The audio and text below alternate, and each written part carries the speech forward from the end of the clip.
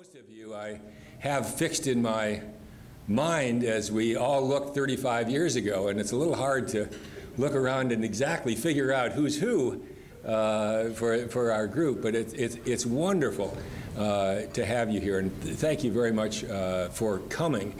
Uh, I'm Bob DuPont, and uh, as the president of the Institute. we're going to keep this running if, if people don't mind. If it's distracting, that's another kind of thing, but I think it's kind of kind of fun. Uh, but it does make the uh, fact that when you're presenting up, you, you got some competition. So we can always unplug it. Uh, uh I'm the president of the Institute for Behavior and Health, and we're uh, very happy as an organization to be one of the sponsors of, of, the, of the event. but at a much more personal level, our, and, and in terms of the, very, the event itself, we have three sponsors of this, and that's uh, Jerry Jaffe, Paul Perito, uh, and, and myself.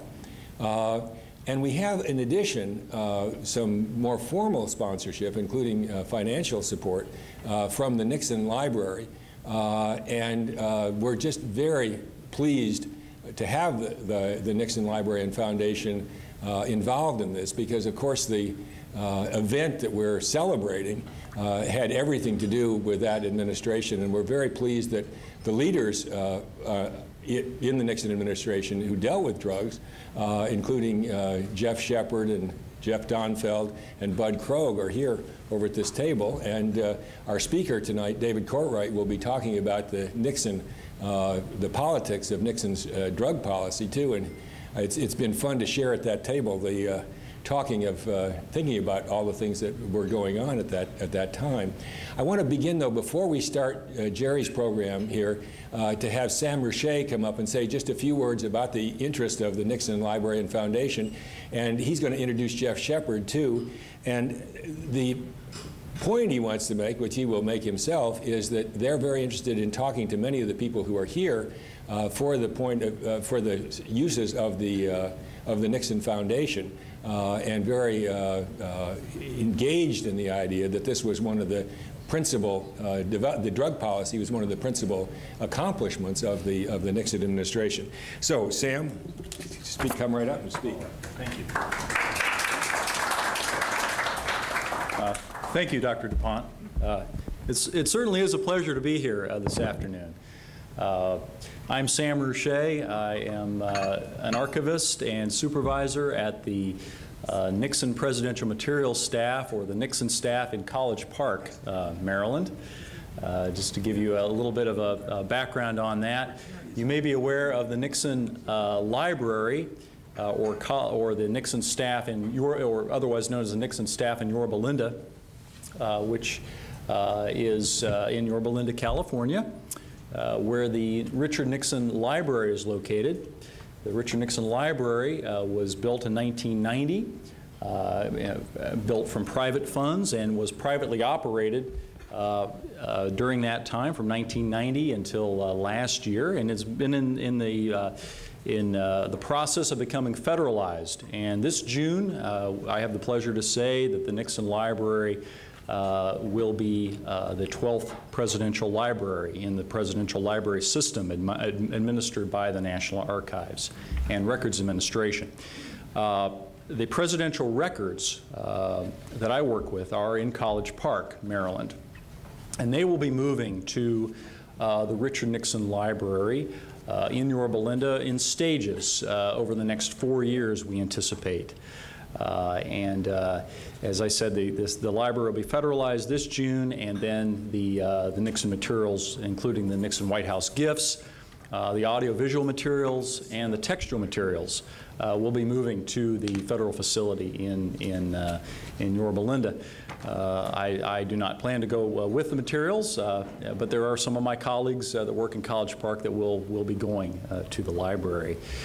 Um, Tim Naftali is the director of the Nixon Library and the Nixon, that is the Nixon staff in, in College Park and the Nixon staff in Yorba Linda. Uh, he could not make it today. I know he very much wanted to be here, but he had a previous engagement. Uh, so I am here on his behalf, and again, it's my, my pleasure. I really look forward to this, this program.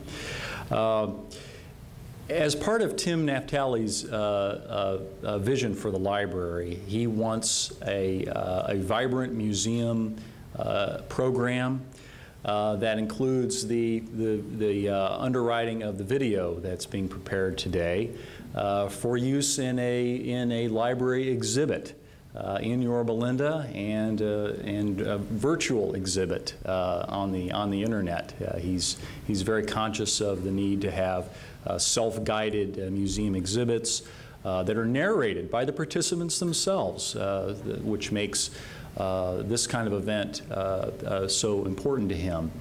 Uh, in addition to these kinds of public programs, he's interested in, in, in, an, in, an, active oral history program. So he, he would be interested in using excerpts from uh, interviews with many of, of you in this room, uh, including um, Bud Krogh, uh, who he very much wants to include uh, in, in an exhibit uh, for, so that visitors to the library uh, can, can go through an exhibit on uh, the Nixon administration's drug abuse prevention activities and actually hear uh, the, the words of the participants, the policymakers, in the words themselves. And, uh, and he thinks, and I, I, certainly agree that that is a, it adds a lot of depth and, uh, and uh, richness to a museum exhibit, as well as uh, online exhibits that he wants to put uh, through the, the Nixon Library's website. Uh, so we would be interested in talking to many of you in this room, and um, I'd like to introduce Geoffrey Shepard, who will say some words on, on that subject uh, the, uh, the revamped oral history program uh, at the Nixon, the Nixon Library. I say revamped because uh, uh, the, the, oral history program uh, at the Nixon Presidential Materials staff has, has, has been in fits and starts. Um, in 1973 and 74, when many people, let, when, when individuals were, staff members were leaving the Nixon administration, there were exit interviews that were conducted through the Office of Presidential Papers and Archives. About 15 years later, in 1987 and 1988, the Nixon uh, staff embarked on a limited number of, of oral history uh, interviews with people. And then about five years ago, uh, we, we did another uh, uh, limited number of, of oral histories. But what we're talking about here is much more comprehensive and uh, and that's why uh, that's why it's important that we uh, that we have a, an active oral history program.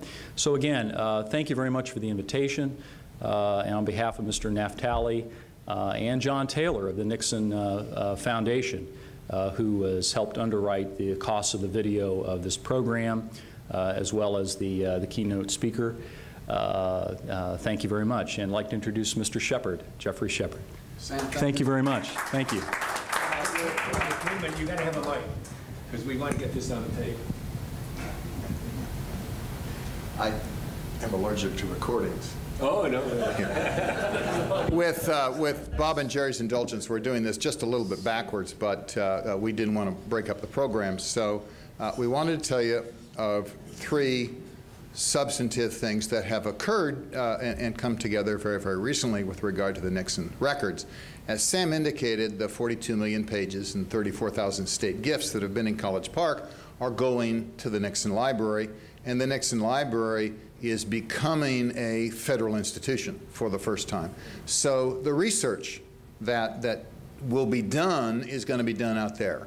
Uh, uh, there's a new federal director, Tim Naftali, and Tim's highest priority right now, because of actuarial uh, requirements, is to do oral histories on the people who were a part of the Nixon administration. And they mean videotape. So you can, you know, go watch. And, and it's, it's odd to be talking about uh, uh, oral histories 30 years later.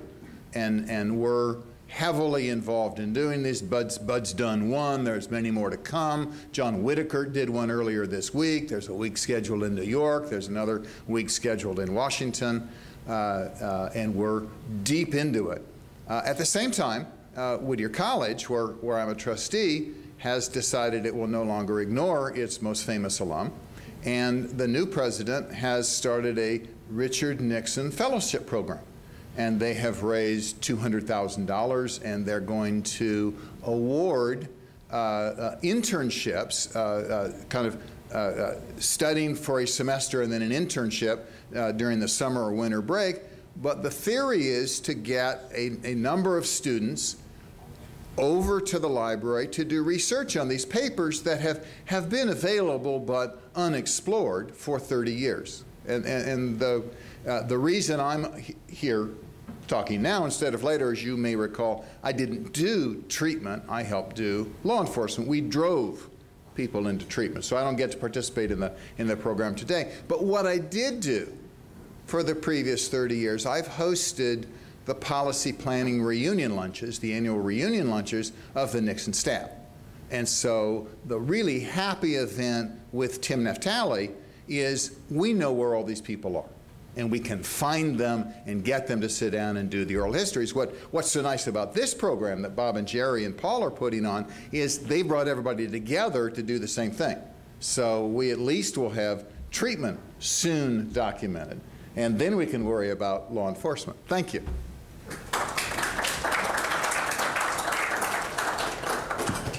Let me just mention a couple of other things. Uh, Eric Wish is here. Eric, do you want to just stand up so everybody sees you? From CESAR, the distinguished uh, program at the University of Maryland. And uh, on June 17th uh, of 2006, uh, we celebrated 35 years of drug czars. And we had uh, seven of the people who've been in that uh, role uh, at the meeting and had just a wonderful time, including our historians uh, here, David Musto and David Courtwright, uh, at that meeting. And that has been put together as a DVD. Uh, it's available to anybody, the, the whole program, and it was a wonderful event. And Eric has got a special deal for all of you that instead of 75, uh, ni- $95, it's now $75. This is the brochure about it, and it's available back in the back for each of you to take a look at. I just, last thing I just mentioned about this, I'm going to leave the, the books back there too that are, that are interesting. This is uh, Michael Massing's book, The Fix, which was the, the first time, I think, that anybody outside our little group recognized how unique the, the Nixon contribution was in drug policy and what an important uh, part of, of the history of American drug policy went on there. And we also, I also have uh, books here from a number of historians, including uh, uh, two books from David Courtwright and also two from David Musto, and we're just very pleased uh, to have them uh, here with us also. Now, we are going to carry the program on, but we're going to uh, uh, move a little bit for a few minutes so Jerry's group gets his full hour and a half. I've taken up a few of the minutes, so, so you can add that on to your time uh, there. Uh, we're, we're, all of us had lives before, or SAODAP, and did all kinds of things before this happened. And in fact, one way to think about it is the way we got there was what we were doing before. Uh, and that's very important. But the world changed on June 17, 1971. And it's not often that you have a date that was so dramatic in terms of a change, a, a, a, tipping point, if you, if you will, an inflection point in history, that that was very important. And then that, that event, that change that went on with executive order at that point as we had the first White House drug czar, and this was elevated to become public enemy number one, the most important priority in the administration was the way it was announced. And then that was put into legislation with 92 255 the legislation that established the office from a legislative point of view and also established the National Institute on Drug Abuse, NIDA. And this is the anniversary of that event that we're celebrating now. So we are now 35 years from the time of the legislation that established the Special Action Office and, and NIDA. So our first panel is going to talk about how this came together, what happened, what those initial accomplishments were. And this was one of the most creative, uh, most important events uh, in the history of, of, of certainly of this, the creation of our field. And we're going to have the people who were there at the beginning who, who made it happen. And Jerry Jaffe is going to take care of this. Jerry?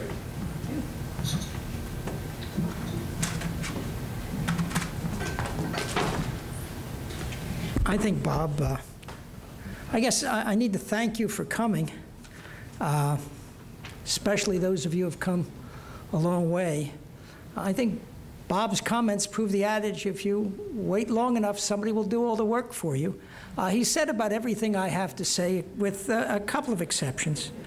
I, I need to thank a few people for making this occasion possible. First, thanks to Bob DuPont, whose idea it was to have a reunion, and to Dick Bucher for tracking down everybody uh, and all their email addresses, and he did the best he could without hiring a private detective.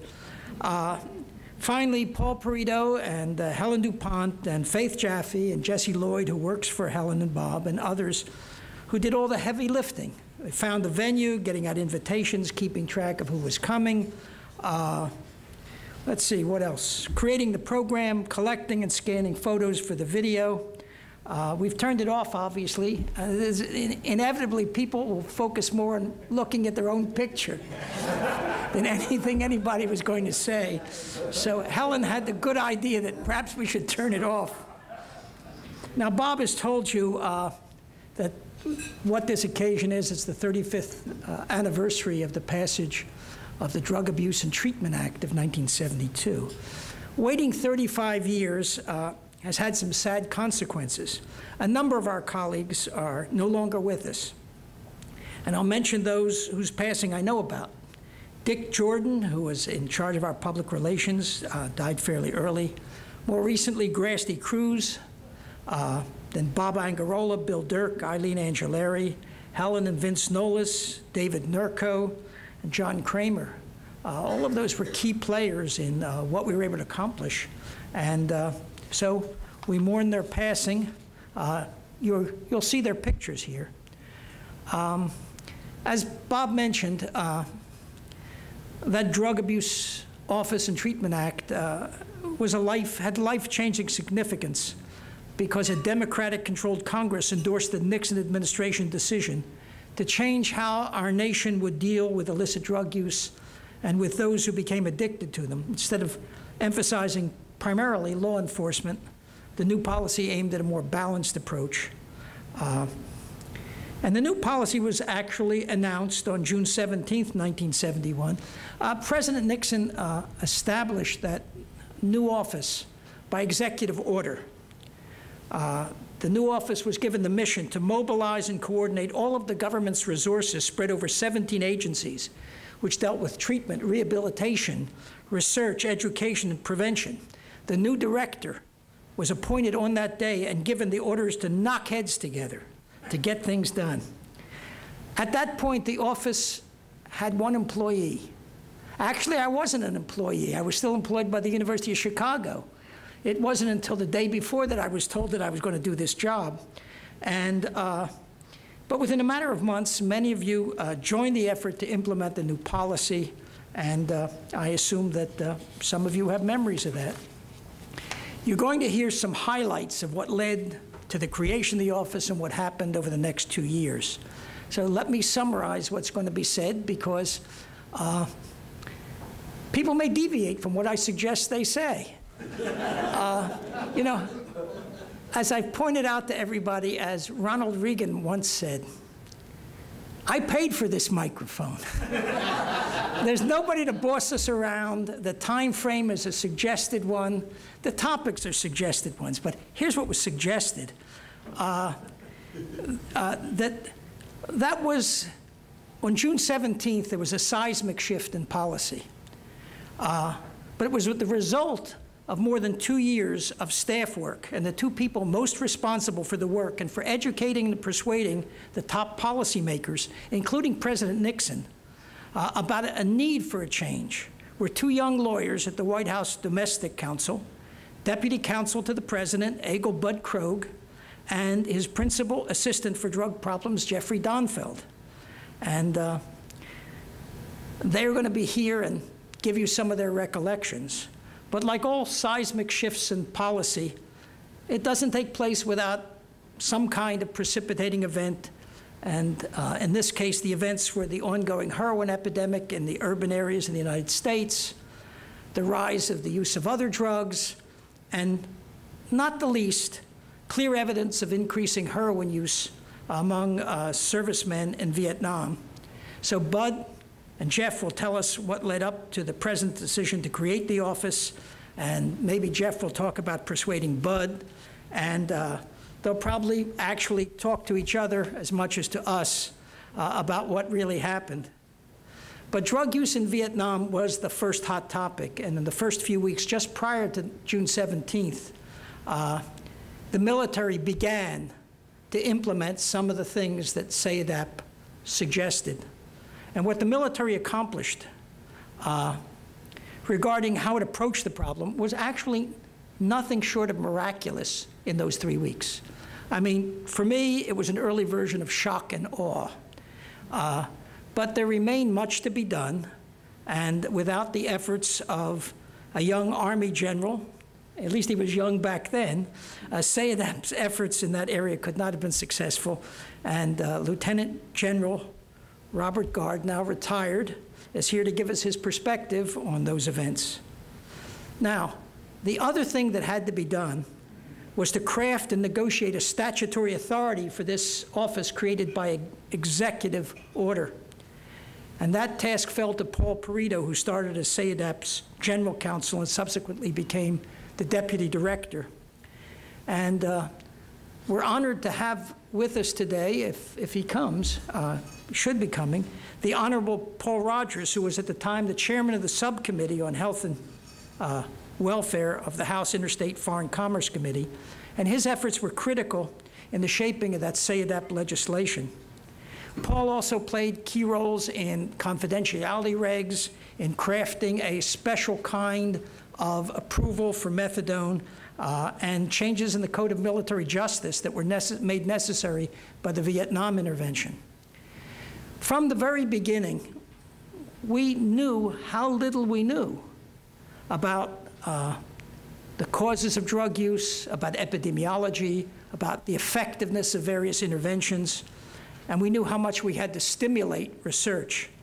Uh, and Dr. Alan Green, who's now professor and chairman of psychiatry at Dartmouth Medical School, and for a time my special assistant, will offer some thoughts on the impact of SAODAP's first two years on the scientific community. There are others here today who were uh, key consultants, and we probably couldn't have gotten along without our consultants. Uh, Beny Primm will be here shortly. Uh, John, Dr. John Ball is here. Um, uh, Chuck Wilson is here. Uh, some have called in. Uh, they couldn't make it, but their thoughts are with us. Uh, and I hope that they will add during the discussion period to the memories of that period. So I'm going to turn to my first speakers, Bud Krogh and Jeffrey Donfeld. What we thought we would do, uh, first of all, I want to thank Jerry and Bob and Nixon uh, Library. Is the Ford Library involved in this too? Are they? The Ford Library is also a sponsor. Ford, that's what I thought. The Ford Library is also a sponsor. And, you know, looking around and people that I've seen uh, occasionally over the years, people we've worked with, uh, it's really almost, for me, like looking at a family of people that had a tremendous opportunity at a point in our history to put something together. Can you? You can understand. You got it. I don't think those mics are on. Just lower because it's not on. Testing. Ooh, wow, that's a deep, mellifluous voice coming through. Okay. Um, now can everybody hear? Okay.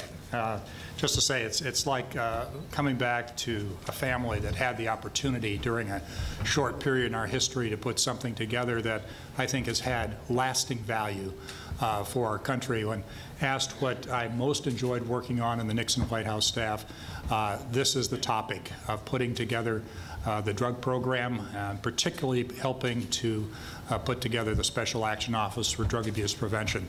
And so thank you very much, you all, for putting this together and inviting us to come. What I thought we would do is Jeff and I will, will sort of tag team through the first couple of years because I think there's a, a, a number of points that need to be made uh, about how this all came about starting in 1969. Um, Jeff said that he did law enforcement, we did treatment, but I need to tell you this all started as a law enforcement notion. And I was in a meeting with um, the president, uh, must have been February of 1969, and we were trying to figure out how we were going to uh, respond to the campaign promise to uh, clean up crime around the country, and particularly in Washington, D.C., which was identified during the campaign as the crime capital of the world. And I remember being in a meeting with the president, and he pointed to me and said, okay, Bud, I want you to get after that. And so being dutiful, I took my yellow pad and said, you know, cut the crime uh, in the district you know, exclamation mark, and went back to my office and I called Walter Washington, the mayor of the district, some of you might remember, and I said, uh, Mr. Mayor, my name is Bud Krogh. I've just come from a meeting with the president. Uh, he's asked me to, to get after the crime, and I was wondering if you could go ahead and cut the crime and give me a call back when it's down. And there was a long pause, uh, and he said, "Well, we'll get we'll get right after that, uh, Bud. Uh, um, thanks for the call." And uh, there was a check off on my yellow pad, and I could go back to reading full field investigations from the FBI, which was my principal job in February 1969. Fast forward just a few short months, and I think the crime rate had gone from 169 uh, on the index, the FBI index per day, to 202.4, which Ehrlichman called up from Camp David and said, this is not progress. Uh, so uh, I was serious about it. I want you to get after this. So what we started doing is thinking through what are the strategies that might work. Uh, and frankly, we didn't have a very good clue at that point. Uh, one of the simple ones was let's add a 1,000 police to the District of Columbia Police Department. So we put that in motion. And let's change the street lighting system. Let's change the legal system so that we have faster times from arrest to trial. A lot of the things that the law enforcement community thought would work. But then I think it happened, uh, I'm not sure exactly the date when we first met Bob. I guess it was late 69 uh, or the summer of 69. Yeah, summer of 69, and you had started some of that research in the DC jail. And we were getting some information of the correlation between uh, heroin use and the crimes that we were specifically trying to address in the District of Columbia. And I'm not sure how long that study took, but it became increasingly persuasive that if we could design a treatment set uh, that we might be able to get after those who were the most likely people to commit crimes. What I'm pointing out is that this 1969 period was principally educational. We were learning what to do. And I will say that one of the, the magic parts of the Nixon administration, there were some areas where there was intense interest in making good policy. We were pragmatic. What worked? And it wasn't political. It wasn't how do we score political points for this, but what is the problem? What is the response to it that is the most intelligent? Who are the best people to carry it out? And there was a sense of almost policy humility that I think, some of us had. We were open to suggestions and ideas. So I think what I just wanted to do a little bit about 69 and turn it over to Jeff on 69 because he worked on a number of different areas and, in, drugs, and then maybe we can move ahead into 70 and 71 because we're going to try to take it up to 71. We're sort of sharing our 20 minutes, Jerry, if that's okay. Bud used the term uh, policy humility, and, and, Bob said, well, we all had backgrounds before we got into the business, with uh, some exceptions. I knew nothing. And, I think that that turned out to be a blessing because I came to the issues with an absolutely clean slate, uh, not being involved either personally nor professionally in drug abuse. Uh, I was there to learn. And uh, I met Bob and uh, started to hear about something called methadone maintenance. And uh, Bob suggested that I visit a professor in Chicago by the name of Jerome Jaffe. And uh, I went to Chicago and I met Jerry. And as I traveled around the country at Bud's request to learn what was efficacious in this field, all all points went back to Jerry Jaffe. Uh, I learned about multimodality. Um, I visited the um, psychotherapy programs, the halfway houses. And what Jerry kept drilling into my head was, look at the data, look at the data. And when I would go to the um, halfway houses and I'd ask for their data on recidivism, uh, I was always told that they were much too busy doing good things, treating the addicts to come up with data that just didn't seem to be high on their priority list. Whereas Bob and Jerry did have data which showed that methadone maintenance uh, indeed reduced uh, criminal recidivism, which, as Bud mentioned, was one of our primary goals.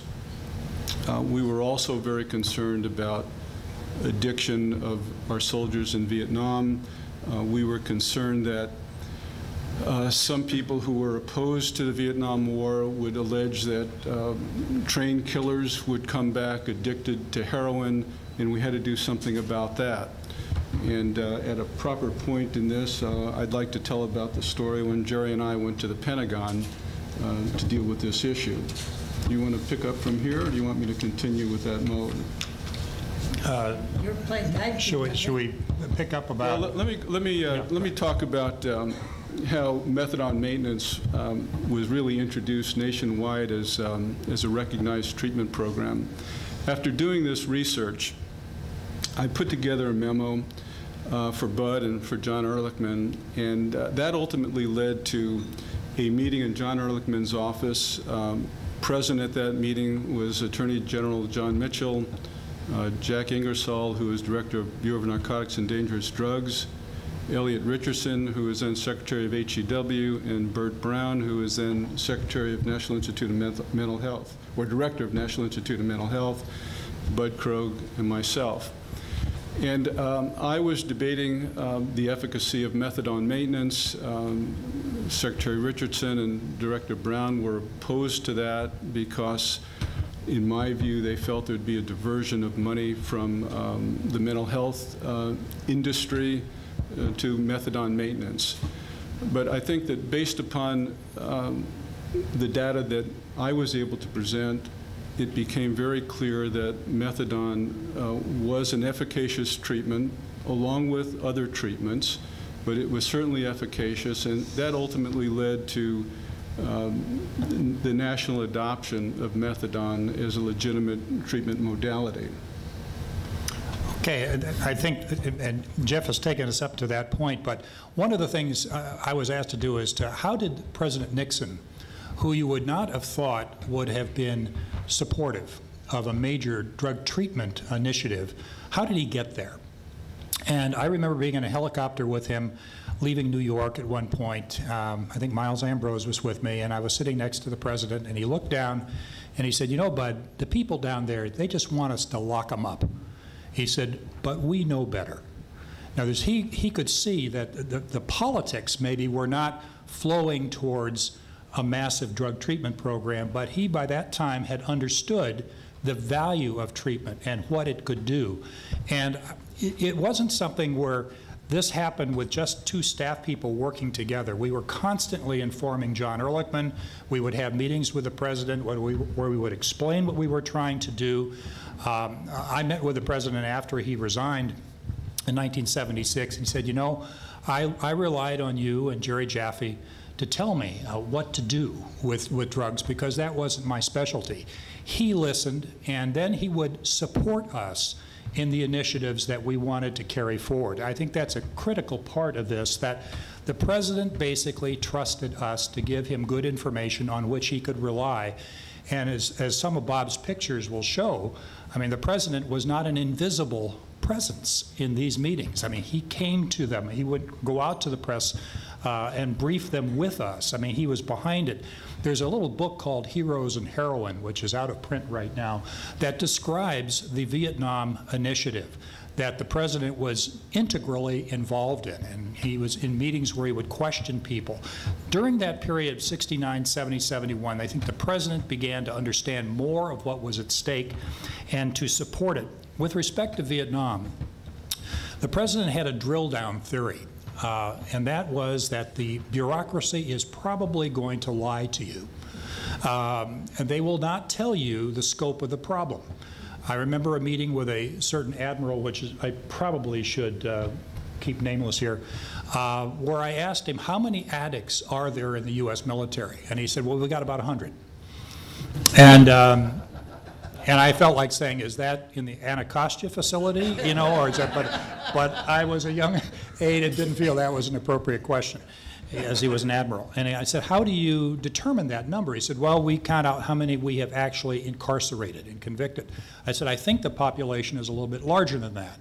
At which point I went to Ehrlichman and I said, I, I don't think we're going to get an accurate answer from the military. Now, this is 1970. This is before all this happened. The president approved a trip uh, for me and John Lehman to go to Vietnam. And we started at the demilitarized zone. We went to 13 fire bases. I remember getting off a helicopter in one fire base in the northern part of South Vietnam near the DMZ, dressed in fatigues, went over to a group of guys who were sitting by a half track looking off into the jungle, and I said, uh, Hi, guys, um, I'm Bud Krogan, I'm from the White House. And one of these guys took a toke on a joint, and he puffed it, and he said, I'm from Mars.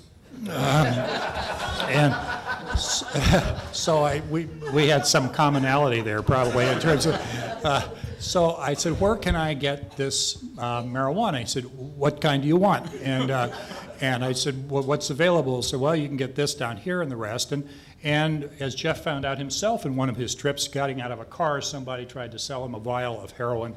I found out that it was widespread. The availability was widespread, and I remember coming back and briefing the president, and I said, you don't have a drug problem in South Vietnam. And he said, well, I, I don't, I don't. I said, no, sir, you have a condition. I said, this is not something we are going to solve, but there are other measures that we can take that perhaps will ameliorate that uh, condition that's going on there. That was a very important session with him, because before that, we thought we have law enforcement uh, resources that we can make use of. We didn't have that in South Vietnam. They're fighting a war over there. Um, I think maybe, Jeff, do you want Yeah, to? Let me seg- segue Yeah, into that. Uh, Very shortly after Jerry's introduction to the president at the Oval Office, uh, Jerry and I went to the Pentagon to meet in a um, very imposing uh, conference room with generals and admirals. Now, here are two young Jewish guys. Uh, we didn't know whether you saluted with the right hand or the left hand, and uh, here we were with, um, the room was full of generals and admirals, as, as I recall. And uh, Jerry said, look, we need to find a way to identify our soldiers in Vietnam who are dependent on drugs. And the generals and admiral, admirals, many of whom were physicians, said, well, there is no technology available in the United States, nor to our knowledge anywhere in the world, to identify those that are dependent on heroin. And Jerry said, well, I think that there is. And they said, no, there isn't. And, and Jerry set up an ambush. And, the ambush was, uh, if I can find you the technology, can I have a couple of C-5As to fly uh, machines over to Vietnam? They very confidently said, sure. And Jerry's next question was, is there a speakerphone in this conference room? Oh, sure there is. And Jerry goes to the speakerphone, dials up some friends or colleagues that he knew about in Palo Alto who had developed these urine analysis machines which were able to identify or analyze a drug sample within a minute. So Jerry gets these folks on the phone. Do you have a such and such machine? Yes, we do. Uh, would you tell us what the technical capabilities are? And they repeated all that, get off the phone. Jerry said, when can I have the C5As? And uh, those machines were loaded on at Moffett Air Force Base, flown over to, was it Bien Hoa? Long Binh. Long Binh, where the machines were set up. And uh, shortly after those machines were set up, a team of us went over to Vietnam. Bud, you met us over there, and um, I flew out to um, one of the fire bases to watch the procedure where our soldiers, um, on a haphazard basis, were asked to give urine samples. But, you know, one has to ask, well, what was just, what was the purpose of identifying the soldiers? It was not for the purposes of punishment. It was not for the purpose of court martials, but rather to identify them and help them. And part of the mission of the Special Action Office was to develop uh, teams that would go out to the military and to the VA hospitals and train folks as to how to treat uh, these people, our soldiers who became dependent on drugs. Can you put a date on when that was? Uh, The meeting that they had was probably May 30th, 1971, and there was another meeting uh, that followed up. Jeff came back after that session with Jerry and said, here's what we can do, here's the reaction that we got over in the Pentagon. And I reported to the president on that, and he said, well, I would like to have you set up a meeting with the chairman of the Joint Chiefs and all the chiefs, the service secretaries, the Secretary of Defense, uh, the Deputy Secretary of Defense for Manpower and Reserve Affairs, the Attorney General, Don Rumsfeld, Ehrlichman, and you, and I want you uh, to run this meeting. Now, you're a young aide in the White House staff, and you come into a breakfast meeting at 8 o'clock in the morning, And Sam, thank you. I've gone through the notes of that meeting recently out at the archives. It's an incredible meeting. And there you have all this brass and the service secretaries. Jerry and Jeff had already given us a, a roadmap of what to do, and we briefed the president. President turns to Mel Laird and he said, Mr. Secretary, how many addicts do you think we've got in the military? He said, about 100, sir.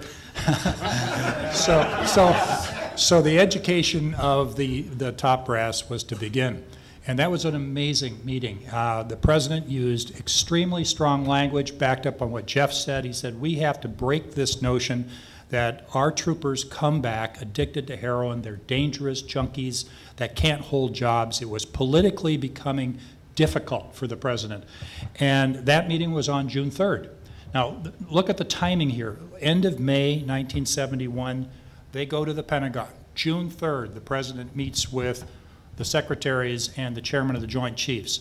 And if you've ever heard a president give direct orders, I mean, he told Jerry about knocking heads together which I think came because he liked your tie. I think in that meeting it was really an amazing tie that Jerry was wearing.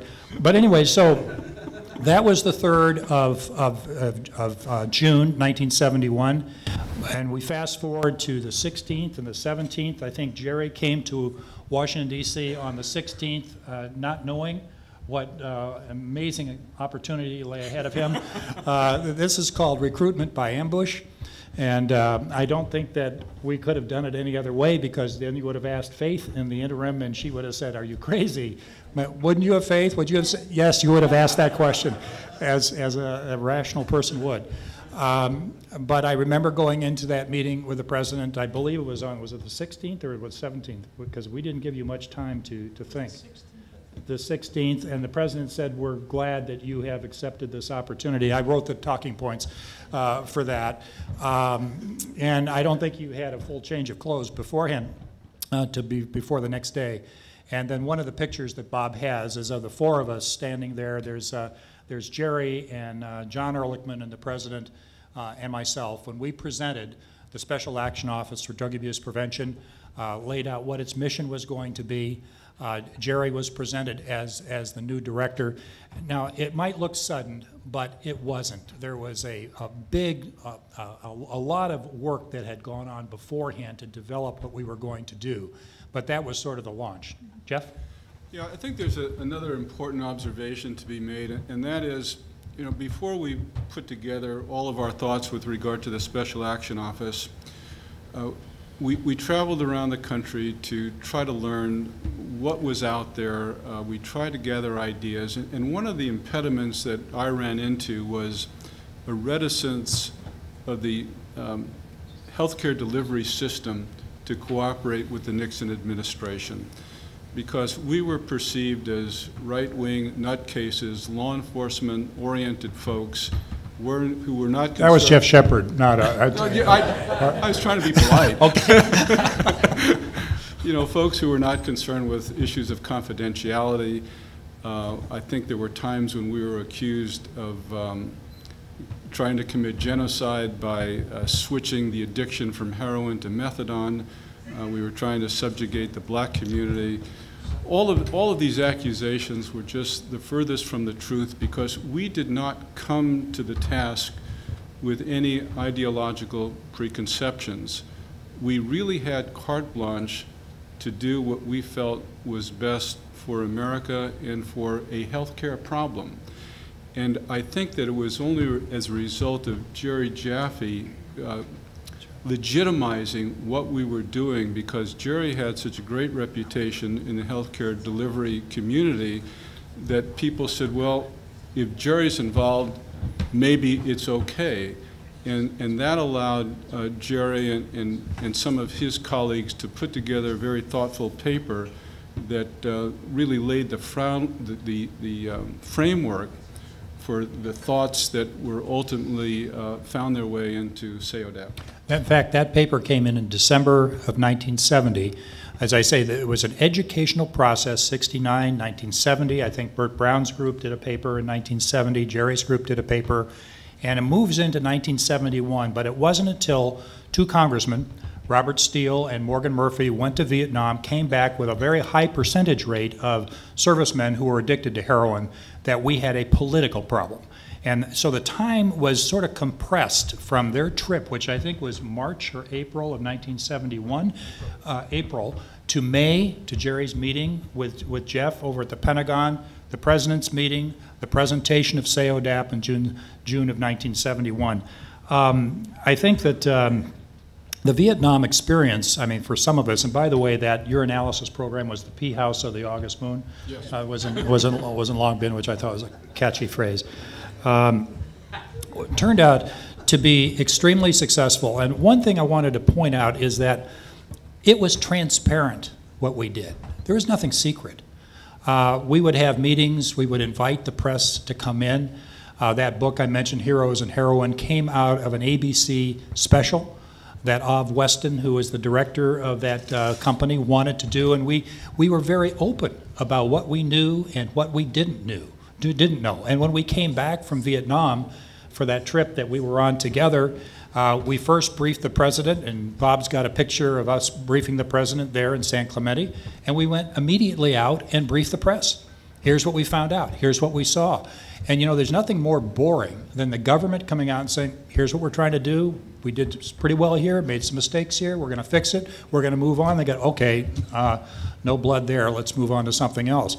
But I think having it be transparent was very helpful to us and helped create the conditions where then, once we had presented the office by executive order, we could then turn to our colleagues on the Hill, Paul Perito particularly, who did, I think, one of the most magical pieces of legislative drafting and getting support for it that I have ever seen.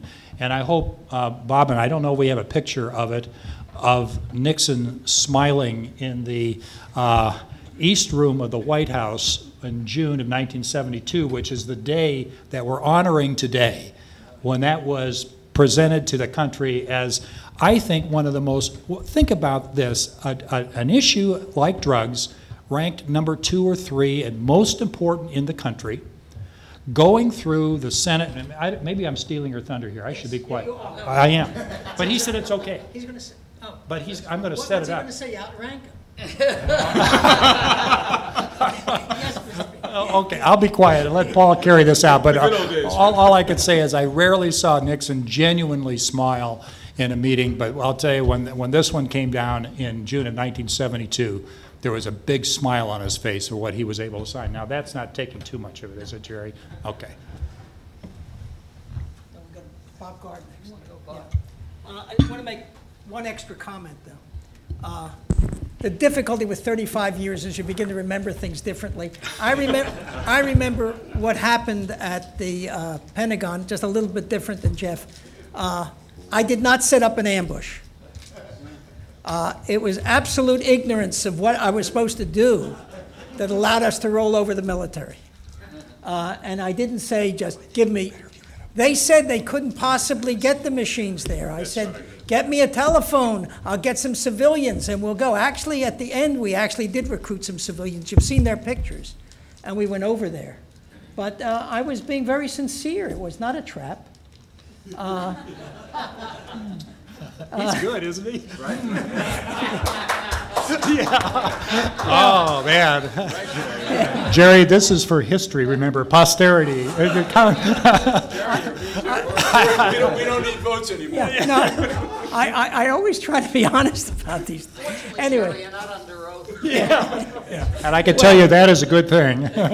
but the, the military did a magnificent job. Uh, I do want to make one other point. When we got to San Clemente, the president said, you know, from the tragedies of war, this is, I think he, these were his words, we often make major advances in medicine. And I want you to write a book about this. Well, I looked at it and I, I looked at the, the, the, the, kind of distrust that people had uh, with government at the time. It was the Vietnam War and a variety of other things. And I said, you know, if, if I actually write some of this, nobody will believe it. We hired Lee Robins to do the follow up of Vietnam. And uh, Dr. Eric Wish is here. He worked with Lee Robins then. We have a copy of the report she did. It is a landmark study of the natural history of heroin addiction, and it has never been repeated since, uh, never existed prior to that time. And uh, she did publish it, and it was important. It told us a lot. Uh, Maybe we'll get to that again. But I think our next speaker is actually uh, General Bob Gard. Uh, He's now a lieutenant general. He was only a brigadier then. But he was a key player, and without the cooperation of the agencies that we were supposed to oversee, we really couldn't do anything. All we could do is fire Mel Laird, do that, but that wouldn't get anything done. Unless they cooperated, we couldn't get anything done, and I think Bob Gard will tell us a little bit of what it was like to be on the receiving end. He's going to come up to the mic. He asked me to come up here because. Yeah. Sure. Um, By the way, a a- a footnote on the- the heroin use in Vietnam. I went there in 68 and there was a lot of marijuana use. By the time I left in 69, you could walk around my fire bases and it would crunch under your feet because they were the little vials. Only cost five bucks uh, for 96% concentrated heroin. It was- and it was quite wide, widespread in 69, you're absolutely right. Um, I was at the Council on Foreign Relations in 1970-71, uh, convinced that my first assignment as a brand-new brigadier would be something grand about strategy, uh, since this was all foreign policy discussion and so on. And there was a picture in the New York Times, that's why I was curious about the date. And it was President Nixon and the Joint Chiefs. It must have been the, that same meeting that you described. And they're all looking very somber, and the caption underneath, I don't know if you remember this, but it said, "The President is discussing with the Joint Chiefs of Staff the forthcoming national counteroffensive against drug abuse."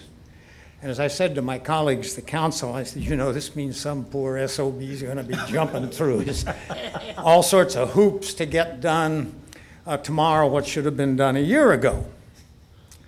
I can't remember the exact details, but it wasn't much, it wasn't much longer after that that I got my phone call from the General Officer Branch, and uh, they said, "Sir, we have your assignment." I said, "Great, what is it?"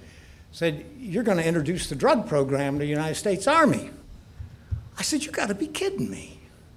No, and you have to be down here in two days. You're going to get frocked. That means they put the star on your shoulder, even though your number's not up yet. You don't get paid for it, but uh, the word from the White House, as I understood it, was each service had to have a general officer.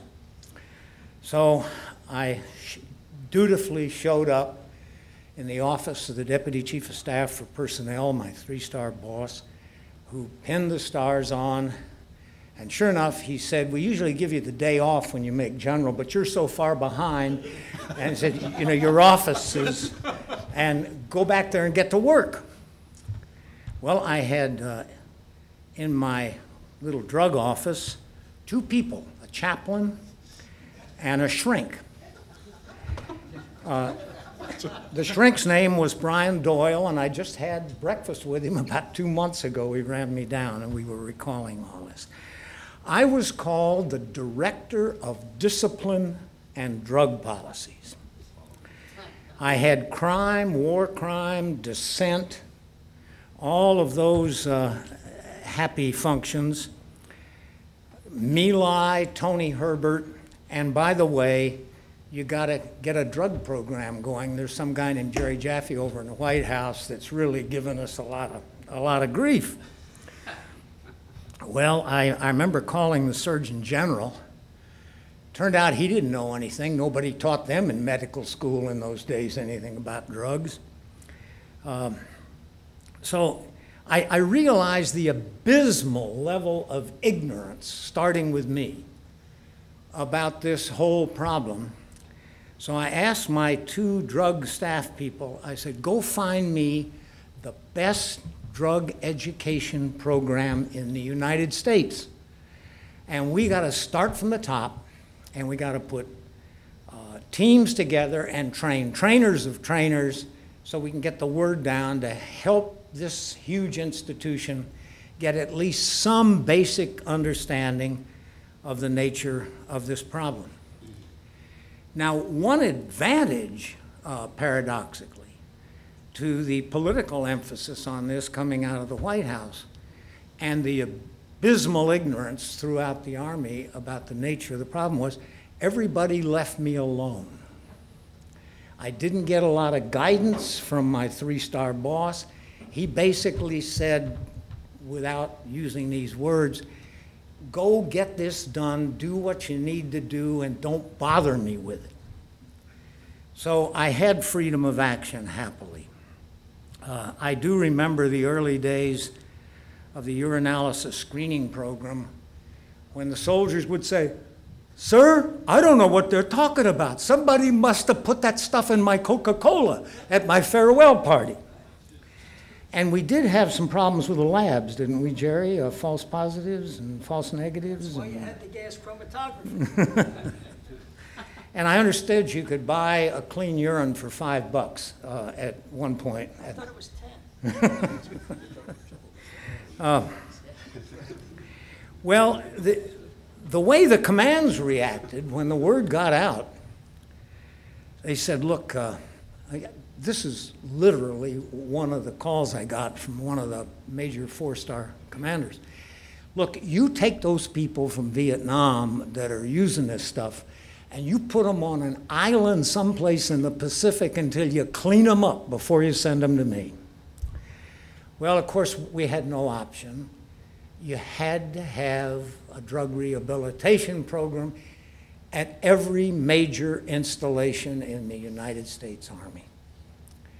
Uh, I'll never forget one of the first um, three-week sessions we had for the, the, the United States used to be dri- uh, divided up in army areas. This was Sixth Army, and to make the point, I, I had the, the, the uh, Sixth Army uh, three-week session done at Esalen Institute, if some of you know what that is.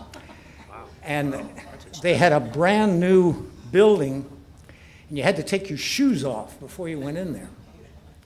So when I marched in as a runny-nosed brigadier general and sour-looking senior generals sitting there with their shoes off, and, and um, it was uh, it was really remarkable. The, the, by the way, the, the best drug education program that my staff came up with was at Princeton University.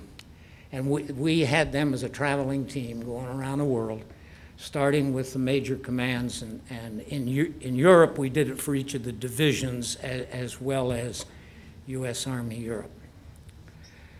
And then we worked to establish some kind of program so that the people who got dried out in Vietnam in the detox ward, instead of bringing them back and discharging them right away, we, we tried to help them get their heads on a little bit before we sent them out. And that was the start of what took a while, as you might expect, to get instituted as part of the part of the Army's kind of understandable philosophy on, on how you deal with these kind of people. By the way, uh, to show you the extent to which they at least gave me my head, I was able to get my title changed from Director of Discipline and Drug Policies to Director of Human Resources Development in less than a year. Now, that's, an, that's old hat now, but let me tell you, it was a bit of a revolution in those days. And what we tried to do, and, and I personally spent a lot of time writing the Army regulation, was, was to make it a human resources development project, namely give people constructive alternatives. Athletics, I even took transcendental meditation from the Maharishi myself. Because had I gone out in that Army regulation and said one of the things you ought to do is make TM available, kids were into, into that in those days. You know, they'd have carted me off. Uh, but I actually took it. The Maharishi, by the way, is tough as nails. I did a thing for him at MIT, and I did it in uniform and explained what we were trying to do with the drug program. And somebody in the audience waggled his finger at the Maharishi. How can you let a war criminal come up here? And uh, Maharishi laid him out. There is no profession more noble than the military. They are there to prevent war. I mean, you could have you could have etched that on the Pentagon. I had no more problems with advocating transcendental meditation. Um, well, it, it, it was slow going at first. The other big issue I had, other than not sending these people on an island until we got them all cured, was that I refused to call it a drug and alcohol program uh, in the Army. Um, I called it a drug program of which alcohol was one of the drugs, much to the consternation of a good deal of the careerists. Trying to make a point, I asked my shrink, I said, Brian, go find out whether or not marijuana, which was just sort of everybody using it in those days, find out that if we were going to have a social drug to, to lubricate cocktail parties, would we pick marijuana or would we pick alcohol? Which is worse? Well, I don't know what the answer to that is, but Brian came back and told me, he said, we probably pick marijuana because it's less dangerous than alcohol. And that was a way of trying to get some credibility with uh, the young soldiers who uh, perceived people who were addicted to alcohol as, in, in many ways, in more trouble than those uh, that were addicted to other drugs. Well, Jerry, I don't know if I did what you wanted me to, but, but we, we were able, with your, your direct participation, I remember you're helping me out from time to time. Uh, I think we were able to do something that was constructive that ha has benefited the Army greatly.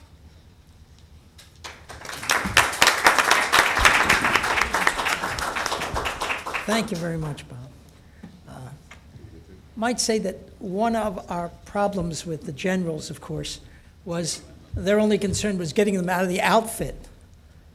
But if you're a soldier in Vietnam and all you have to do is come up with a positive urine to get out of the outfit, and there were no adverse consequences, then they would be selling the positive urines for $15 rather than the negative urines. I tried to convince them of that, and I think we did because we set it up so that they understood what the issues were. Uh, the, the next major task, of course, is how do you legitimize methadone, which was opposed by some people in the, our bureaucracy? How do you get uh, statutory authority for an office? Uh, and how do you do a number of other things to really do all the things that the president wanted? And I think Paul, uh, my deputy, will uh, had that task. And he's going to tell you how he did all of these things in 10 minutes because he's always very brief and concise.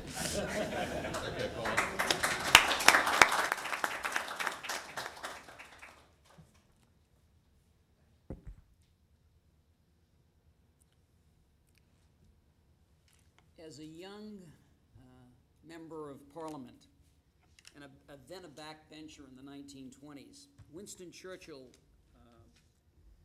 in viewing the often uh, absurd and cacophonous legislative process of the Parliament, uh, used uh, the expression of Otto von Bismarck to describe what he was a participant in. A person having respect for either sausage or legislation should watch neither being made.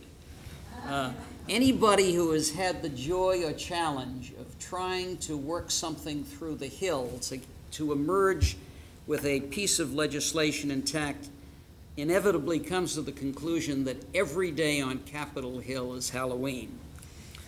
In contradistinction, in contradistinction to that concept, uh, some fascinating events occurred on June 18, 1971, and ties in what Bud and uh, Geoff alluded to president sent up the SAODAP bill. And it was a surprisingly bipartisan initial response that greeted that document.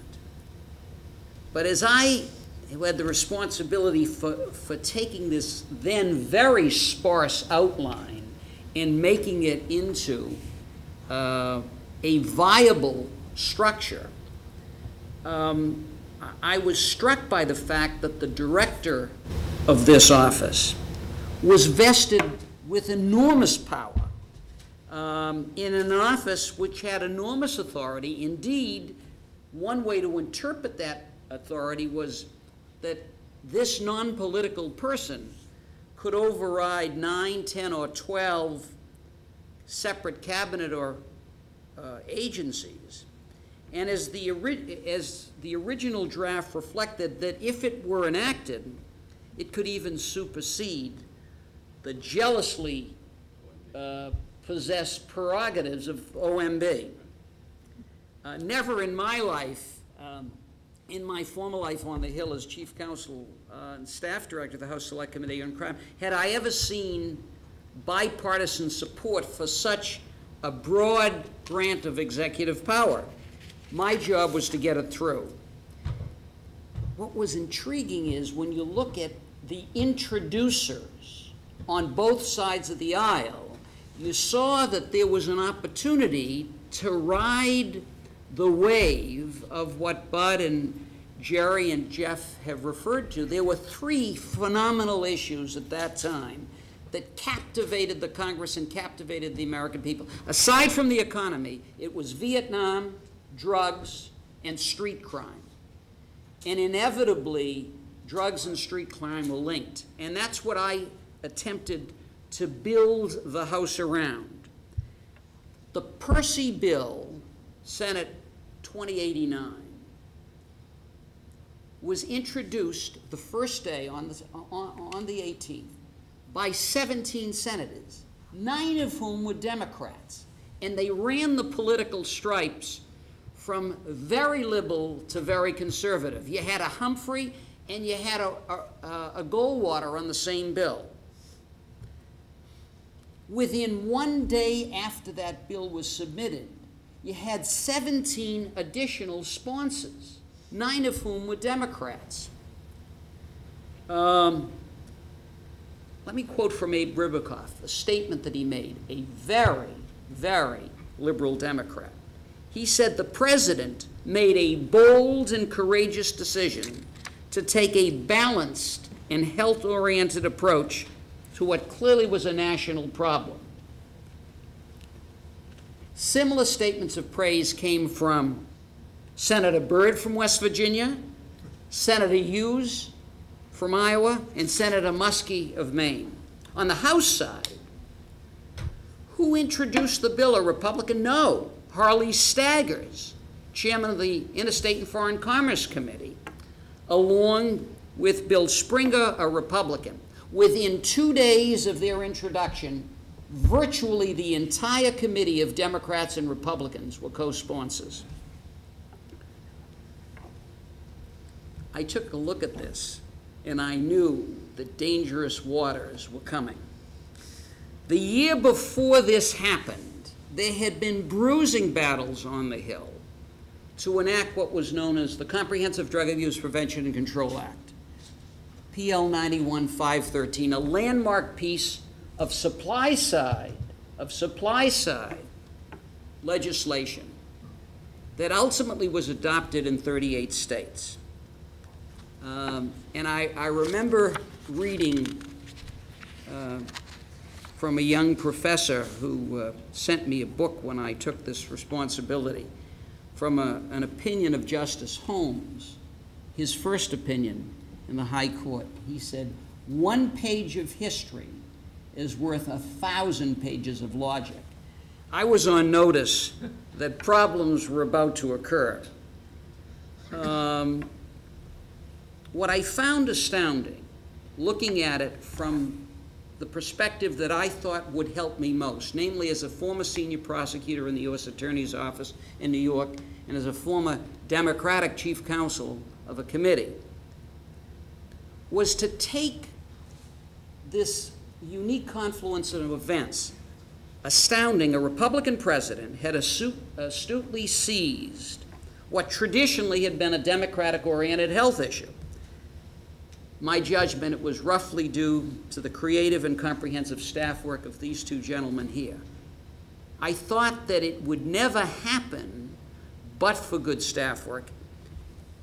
On the Senate side, the bill was referred at first to the Government Operations Committee, but everybody anxious to share a limelight with Jerry and the media frenzy under the banner, which I thought was an unfortunate metaphor at the time of the war on drugs, claimed jurisdiction of five other committees and three subcommittees.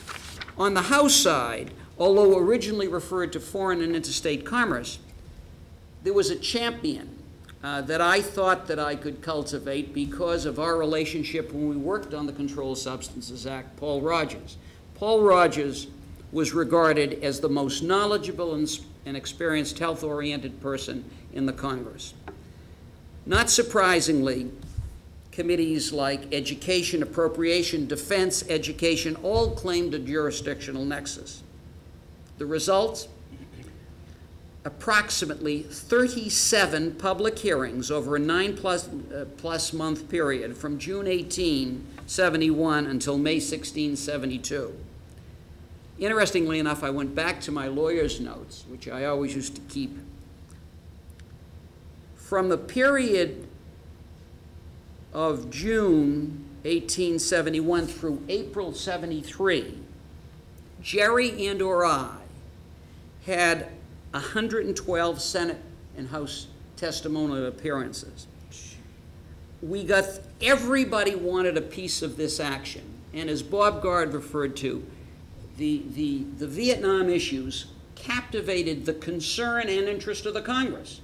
And I can remember Tip O'Neill from Massachusetts and Silvio Conte calling me in the office and says, you know, we're all from Massachusetts and so on and so forth. You got a problem here, young man. You're going to have a generation of new addicts. So I painstakingly went through the process of explaining to him how Dr. Jaffe was going to change that. and divine intervention, I thought at that time. But uh, we never would have gotten, Jerry and I never would have gotten through those appearances but for the staff work of people like Dick Bucca, Dr. Bucca, Dr. Green, Dick Glass, Jeff Donfeld, and others, who really, who really, as Bud said, I think were, were colorblind to everything but the mission. And, and that was uh, incredibly reassuring. And frankly, I think one of the things that helped Jerry and I so much is that we did have a free hand in bringing in the best and the brightest. Um, what surprised me, and frankly astounded me, was that some of the most fierce lobbying efforts that I encountered were not from the group of psychiatrists who wanted to protect their realm in the community mental health centers, were not from some of the workers who thought that they were going to be laid off from therapeutic communities. But they were from some senior officials at NIMH.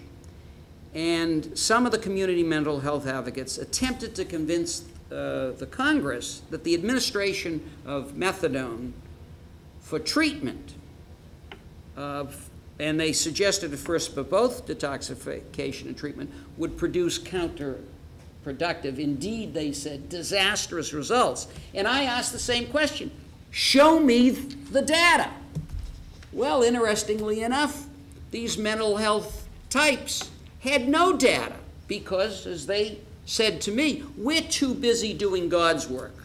I said, well, you know, sometime, you know, in God we trust, all others pay cash. You know, you have to come up and show me the money. I mean, you got all this money from grants. And one of the things that I think they feared about Jerry was that he was talking this bizarre animal of fee for service. Somehow we wanted accountability for the money being spent to treat patients. And I must say, uh, I was shocked at some appearances that I made before Congress that there were pickets outside. And Jerry and I were, quote, dedicated methadone mavens, or we were committed to enslaved neighborhoods by methadone treatment. On the positive side, Several members of Congress wanted to clarify the authority, they wanted to avoid conflict, and they want to enlarge our jurisdiction over the civil service that, where they thought there were drug abuse problems. They wanted to provide aspects of the DOD with some additional help, and they were concerned about whether, in fact, if people volunteered for treatment and they were in the military and they had been drafted, not, not volunteered for service, would there be civil rights problems if, in fact, there wasn't proper confidentiality? That was one of the germinal factors that really moved us to focus on the confidentiality regs. Um, the other issue that constantly uh, I confronted was the attempt to expand the authority of SAODAP into the law enforcement area. And I'll never forget um, Tip O'Neill and, and Silvio Conte and a few of the Massachusetts Democrats that I met with said, you know, we had Jack Ingersoll up here, and he said he's got the problem in hand. And I said, well, uh, I guess he's now living on another planet, because if the problem was in hand, I don't think the president would do what we say we're going to do, what, what he says has to be done. I said, the Jack Ingersoll issue and the issue of uh, law enforcement has really been initially handled by, by truly a landmark piece of legislation, the Controlled Substances Act. And I said, what, what you need is, you need a coordinated response. That's, that's what this bill is all about. And, you know, as someone who um, was accustomed to representing the government as a client or the Congress as a client, um, I suddenly saw that, frankly, uh, the best chance I had of convincing the Congress to move rapidly was to encourage as much exposure to Jerry, uh, and Jerry didn't know this, uh, as possible because I saw in Jerry as a client, and I looked at my role first in the administration as a client, but secondly as Jerry as the client, um, that Jerry's medical and clinical expertise and professional demeanor would be a, a refreshing change from the conventional administration witnesses, both on the Republican and Democratic side, for whom the Congress and the staff were accustomed to canned messages, non responses. Jerry was incapable, incapable of not being refreshingly blunt and was an articulate spokesman for, uh, for clinical treatment and research issues for which he had unparalleled knowledge.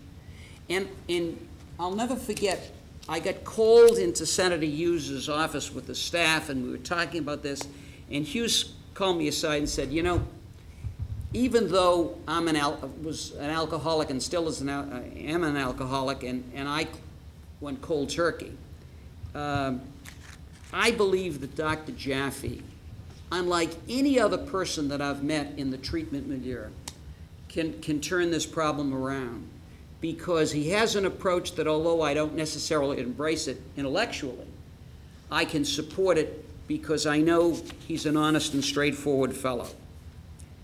Um, this protracted process uh, got moved along when we convinced them that on the law enforcement side, this had been taken care of, and we would have an assistant director who would have coordinating responsibility, and that the national strategy that was required, there would be intergovernmental meetings which Jerry would convene. As it turned out, we were able to force votes then in both committees and in the subcommittees. The Senate passed S2097 first by an astounding vote of 92 to 0. Uh, subsequently, on the House side, uh, a, a, clean bill was forced out on 1289, uh, and that passed 380 to 0. Can you imagine today or 10 years ago having anything in the Congress agreed upon something particularly for a landmark piece of legislation where there were no dissenting votes. When the president signed this bill into law, and, and Bud and Jerry uh, uh, alluded to this, I went back to the original transcript. Because, you know, that's that horrible training at the Harvard Law School, you know. At Yale, it's uh, never look at the statute unless the legislative policy is unclear. But, but, but at Harvard, we, look, we learned to look at the statute. The president said there wasn't a vote against this bill in either House or Senate, and there are not many I sign like this. Indeed, few presidents ever have the opportunity to sign these bills. The president then turned away, looked at the first two rows, and looked down at the members of the cabinet who were, who were assembled there, and he said, quote, I've given Dr. Jaffe, I've given Dr. Jaffe, when I made this appointment of him in this office, the responsibility of knocking the heads together, the heads together. And unless the people in government and all of you in the agencies, and I'm looking at you today, are cooperating and work together, instead of heads being knocked together, heads will roll I give this man this responsibility. That's his statement. Now, seldom has such license and authority ever been given, uh, and political muscle ever been given to a non political person who did not even have cabinet status. And although Jerry and I sometimes quietly, or not so quietly, disagreed on a whole series of issues when I would say, look, you have to pull your gun out of the holster we never disagreed on the worthiness of the health oriented mission or the concept that uh, the people's treatment dollars had to be accounted for. Um, I'd just say two other brief words. One on, on the DOD situation. We, we had to resolve to draft confidentiality regs because it was clear that we, at the same time that we had to amend Title 10, and as the general knew, if you took the traditional title of the U.S. Code that governed military conduct, if you come in and admitted you were an addict, then you'd be subject to a process in which it'd either be court-martial or dis dishonorable discharge, and we were concerned about that. Jerry's theory was, look, you have to have people volunteer as well as people who come up on a urine screen. And what if we have a false positive? So that's one of the reasons, and ultimately, fortunately, we were able to convince the General Counsel and Secretary Laird to the amendments. The White House was terrifically helpful in that. And uh, at the same time, we also had to legitimize the concept within the structure of the FDA of a treatment regimen using methadone. And so the methadone regs were a product of cooperation between the White House and Peter Hutt, uh, who was then general counsel, now uh, uh, teaching part-time as a professor at Harvard, a brilliant, brilliant lawyer. Um, we came up with something that they first said, we talked about it, they said, Perito, I don't know whether it's you or Hutt who's crazy. We said a hybrid IND-NDA. And so that the research-only concept was changed. And so we, we, we came up with this, essentially providing a base so that licensed practitioners uh, could prescribe this in certain regimens. Um, this was unprecedented, but since that time, similar practices have been adopted in 30 countries. The final concept is, uh, as I look back, what we participated in was uh, a unique government experiment, um, a bold and imaginative one by the White House. And all this couldn't have occurred but for, not for us. We, we worked with the incredible people we had, and the people sitting in this room and the other people who couldn't make it, and the other people who were not with us. Those thoughtful and dedicated, skilled professionals gave us the privilege of leading them, but this would have never been achieved without a team effort, and it was a terrific team effort. And Jerry and I will forever be indebted to all of you. Thank you. Well, we're going to hear next from uh, Professor Alan Green about his perception of what happened on the research uh, side of things and uh, Dr. Beny Primm has joined us, and I'm going to ask him to say a few minutes after that about what happened out there uh, in the streets in terms of how this impacted treatment in the communities. Uh, So think about five minutes worth, A lot of preparation like they gave me for that first White House. but- And uh, Dr. Green. Alan.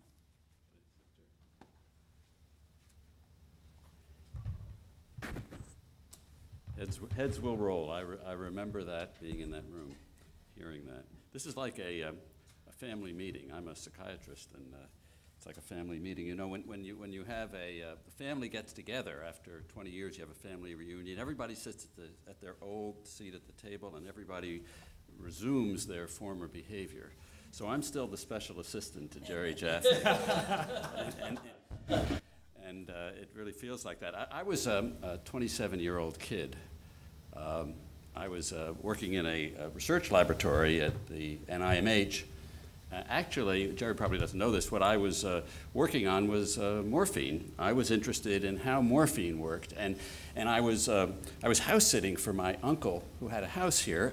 They were traveling, and I was house sitting, and I was, so I had these rats, and I, you couldn't, you can't do this now, but I took these rats from the laboratory, and was uh, injecting them every six hours with morphine to addict them to morphine, and I kept them in a bathroom in, in the house.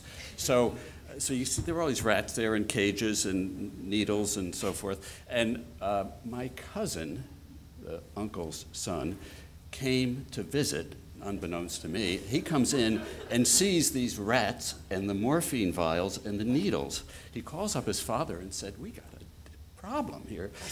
My cousin, your nephew, is seriously involved with drugs. So this is one. This is a true story. So, um, so I'm, I'm working on, on morphine, and I, I get a call from uh, a, a former mentor of mine from medical school. Uh, saying uh, this fellow Jerry Jaffe was just appointed as the drug czar. Well, I actually knew it because I had seen it in the New York Times, and so he said uh, I had heard from Jerry Jaffe, and Jerry Jaffe said he only had one person working with him, and that he was the, the person, and he needed some help, and would I be interested in possibly uh, going to meet Jerry Jaffe? And I think we had met once before at a meeting or something. I didn't, I really didn't know him at all.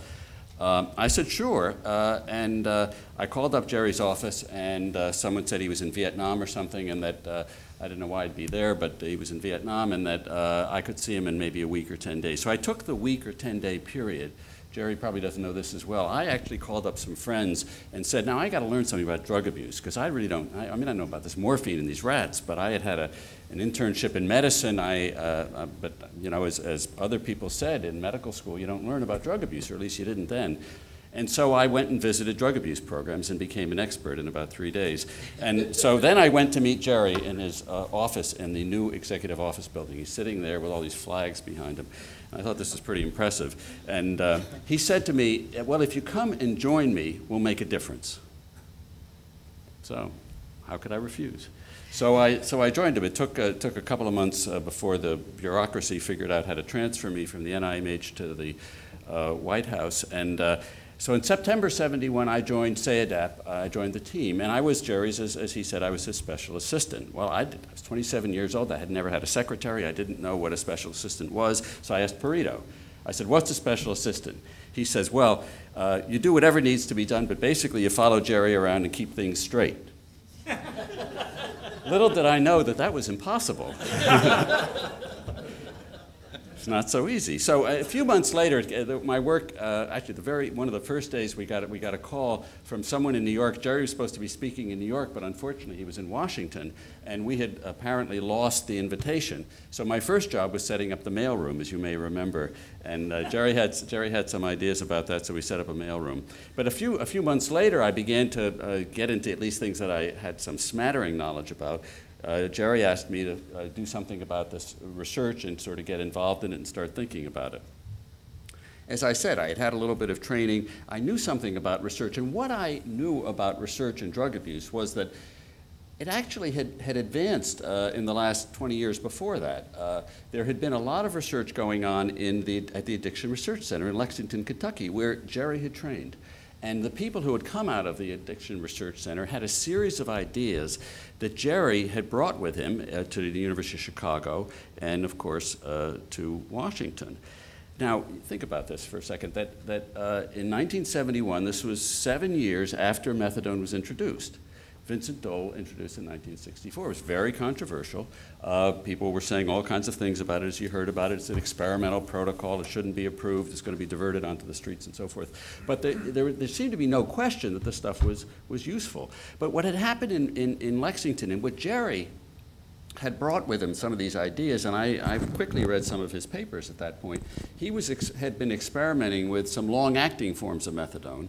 One of them called, uh, the, the, the, one that was available was L-alpha-acetyl-methadol. It was a long-acting compound that might be able to be useful, but it wasn't available really. And there were these ideas that what you could do was block the action of heroin.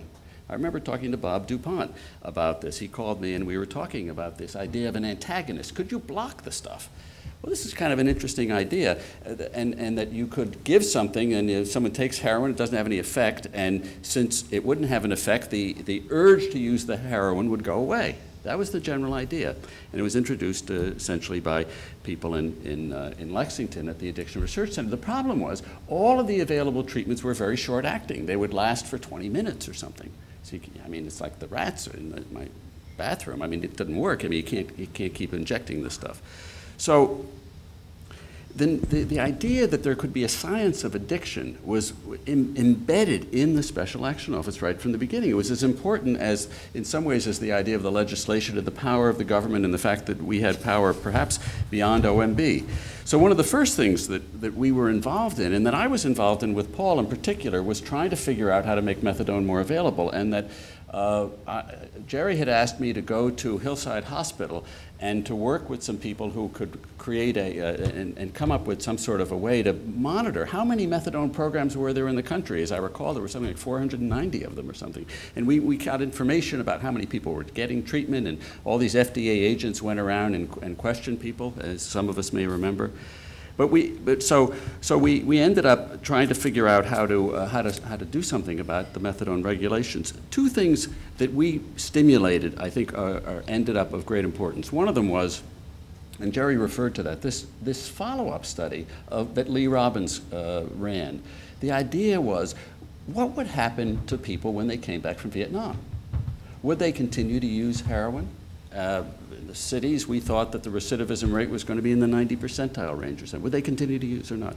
And so Jerry and I and others stimulated this, this, uh, uh, this research program, and David Nurco, who you, whose name you mentioned earlier, who's, who I guess passed away, David was involved in setting this up with Lee Robins. And so there was this study, it's a landmark study. Turns out 11% recidivism rate after people came back from Vietnam, probably because of the way it was handled, and partly because of the fact that this was a, a very unusual place. I mean, you were stepping on the vials everywhere, the 96% heroin, and and what we now know is that there's a vulnerability that some people have and some people don't have probably. And so what was going on was this stuff was being used by a lot of people who might otherwise not be vulnerable to, to addiction, but were in an environment where it was, it was freely available.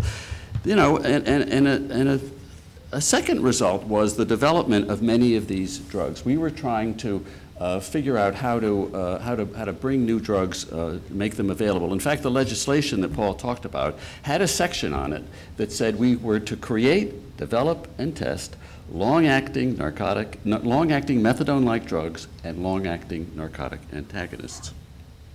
So how do, how do you go about doing this? Well, it was, it was an interesting thing. We, we brought representatives from the pharmaceutical industry into Washington, and they, they were testifying, you remember? But they also came to our office and they said, well, there are a number of these compounds that they had on their shelves that actually might be of some value, especially some of these narcotic antagonists. Uh, the trouble was, the reason that they weren't being developed was because there was no market.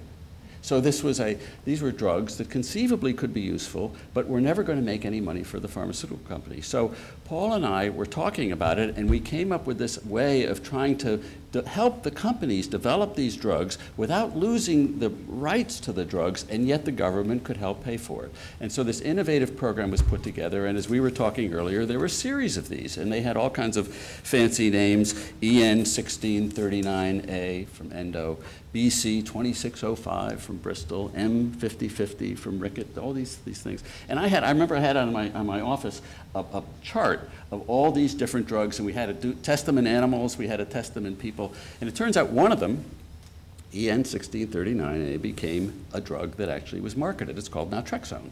And it's available for the treatment, it was, and ended up being available for the treatment of heroin addiction. We were also trying to figure out at that time whether you could come up with a biodegradable polymer, something that you could inject into, let's say, the muscle of somebody, and it would gradually release this stuff it just we, we never figured it out we never got it because we couldn't uh, the, the, people who were working on it and we funded to work on it couldn't come up with something that would release in a graduated way there is one now but it, it, and it's 30 years later but we couldn't we couldn't do it so it's not to say that everybody agreed with what we did uh, in the scientific community. Jerry asked me to talk about policy and science and science and policy. And the fact is that we got hit by a lot of criticism from the scientific community. I remember shortly after I went to join Jerry, he invited me to go with him to a meeting in San Juan uh, of the something called the American College of Neuropsychopharmacology, which is the, it, it's, it's sort of the elite organization. I didn't even know what it was then, but I do now because I'm a member. So I can say it's an elite organization, right? it, it, it's a, it is an elite organization of people who do this kind of research. So anyway, we go to this meeting, and there's this fellow in a there's a big special, uh, uh, kind of a special convocation or something, and there's this guy there going on and on about the drug policy and about this guy Jaffe. I think Paul was there, I don't know if I remember correctly. And, and he's talking about Nazism. This is what, what they're doing. This is draconian. I mean, you're going to poison people. This is you know, like being a Nazi or something. I said, my God, what the earth have I gotten myself involved in here? This is really nuts. And uh, so there were strong opinions opposed to the use of methadone, strong opinions uh, opposed to the idea that you could use a drug to treat a drug, to treat a drug problem. And I actually thought the science was totally on our side. And I didn't, I couldn't quite figure this. I couldn't fathom it. I didn't know where this emotion was coming from, but it didn't seem to be reasonable to me. And it doesn't to this, this day actually seem reasonable to me. It's, it's, but nonetheless, we were, we were in for some criticism. Another area of criticism that we were hit with was that the scientific community was unable to get drugs for research. They couldn't get LSD, for instance. They couldn't get heroin. They couldn't get drugs like that, so-called Schedule One drugs from that from that legislation. And the reason they couldn't get it was because the BNDD, as I got it, had come up with, with, with regulations that forced them to get these huge safes and root the damn things in concrete or something so they could keep them in their laboratories to do the research. And, and the scientific community went berserk. They, could, they said, this is nuts, we can't do this research. So again, Paul and I had the uh, wonderful uh, time of trying to figure out how to change these regs, which we did do with, the, with BNDD and thinking about it with BNDD and the FDA. And so the community was perhaps pretty much on our side. So thinking back on it, what, is, what, did, the, what did SAODAP do in science? Well, this EN 1639A discovery and the development, it wasn't really a discovery, the development of naltrexone, which, which has been used in the treatment of heroin addiction, which is now available in a long-acting form because the polymers are now available. In the last two or three years, they've become available. They're called microspheres, and they actually work. There's a company in Cambridge uh, called Alkermes that makes these things, and you can, you can make it, and, and, and naltrexone is now available. What, what actually happened was really interesting. Naltrexone, in, in, in 1980 something, uh, it was discovered that naltrexone actually blocks the action of alcohol as well. So you have a drug that was developed for the treatment of heroin addiction, turns out is the, perhaps one of the primary treatments for alcoholism.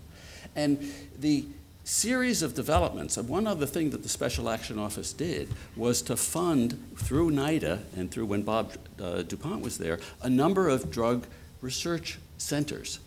And these drug research centers started realizing and finding that, for instance, there are receptors in the brain at which heroin acts. Sol Snyder discovered that.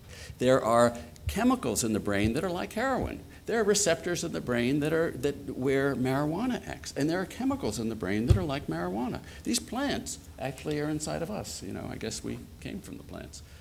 Sometimes I feel like a plant. So, you know, a growing plant, that is, Jerry, not a. Uh, Jerry's so so so fast that he uh, he gets all the puns.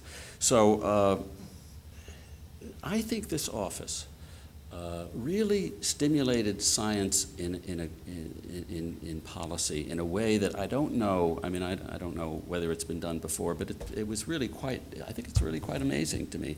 It it stems from his his sort of thinking.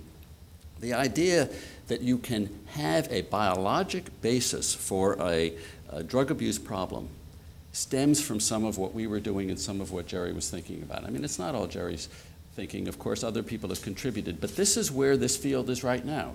That the bio biologic treatments for uh, alcoholism, for cocaine, for uh, cocaine problems, for marijuana problems, uh, for alcohol problems are front and center of medicine right now.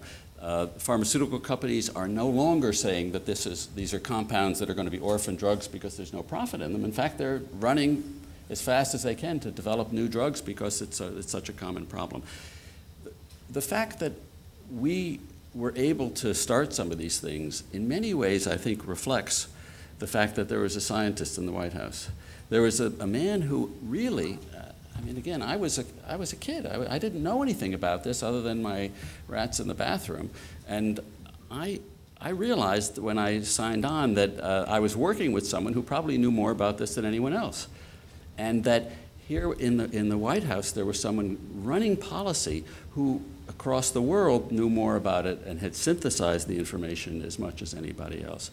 So uh, the fact that SAODAP uh, was a bright era, and perhaps the brightest era, in drug abuse research, starting the, the, the, the, ball rolling on getting research into the national agenda as a treatment arm and helping the treatment for heroin addiction, for alcohol addiction, for cocaine addiction, for problems with marijuana, problems with methamphetamine, problems with other drugs, problems with smoking, problems with gambling, problems with obesity, because they're all, on some levels, problems of what is something that's now known as the brain reward circuit, and that it all evolved out of this, and a lot of it is due to this guy.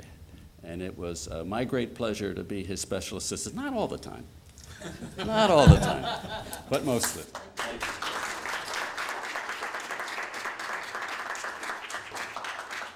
Again, we, we remember things a little differently. I, I, no, I, I think it, it, it's candid to say that uh, if Einstein hadn't come up with the theory of relativity when he did, somebody would have done it 10 years later.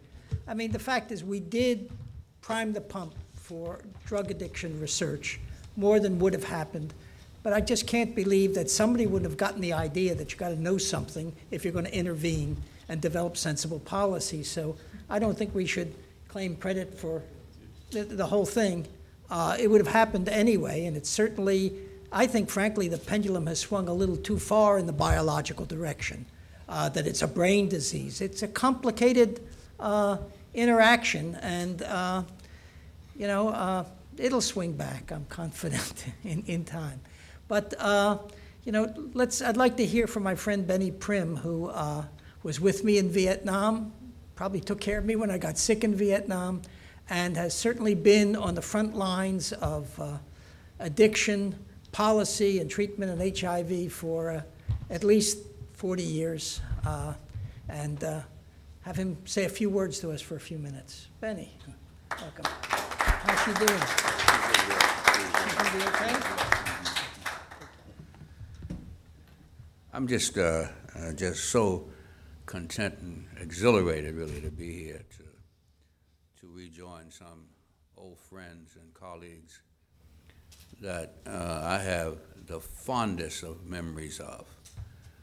Um, I cannot tell you how much I reflect upon my association with Jerry, uh, which goes back to a hotel here in Washington, D.C., and I'm in the back of the room at that hotel at a meeting.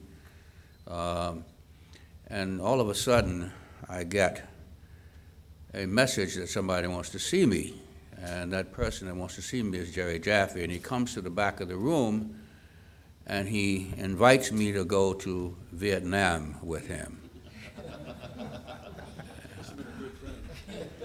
Uh, I'm a retired Army officer. I said, I'm a retired paratrooper officer, and I don't want any part of any war, anything else. And, and Jerry said, well, it's, uh, uh, I'd like you to go with me because you have shown some knowledge in addiction. You came out to visit me in Chicago when I had started up a program in New York. Uh, and Stu Nightingale knows about that, and he had uh, worked with me in Brooklyn. He ran a program there where I had started up a methadone maintenance treatment program. And so uh, I went out to visit Jerry, uh, maybe maybe uh, six uh, months or a year before that time, and looked at what he had as a comprehensive substance abuse treatment program in Chicago. Uh, he had therapeutic community. He had uh, certainly a methadone maintenance treatment program. He had L-alpha acetylmethadol uh, that Green, Dr. Green spoke about. All of this functioning under one umbrella and doing extremely well. He was working with the courts. Uh, Paul Perito mentioned very briefly uh, some of the things that Jerry was doing, but didn't wasn't specific about it. Treatment alternatives to street crime, which became really developed more so at uh, the, uh, the Special Action Office. And so, anyway, when Jerry asked me to go to Vietnam, I, I said, I don't want to do that. He says, well, come on, join me. We'll be fine. We're going to leave in two days or three days. And I couldn't believe this. And I said, well, you know, I have to tell my wife. She said, we'll take care of that. And uh, we'll fly, we'll fly you over there and so forth. So we went. And when we got there, we began to visit uh, treatment centers. Uh, Jeff Donfeld was on the plane with us. Bud Krogh was already over there somewhere, and, uh, and, and in Laos, I think you had gone to Laos or somewhere like that. And uh, we, we stopped initially in Alaska, and then we went from Alaska to, uh, to Taiwan, and then to Hong Kong, and then on to Vietnam.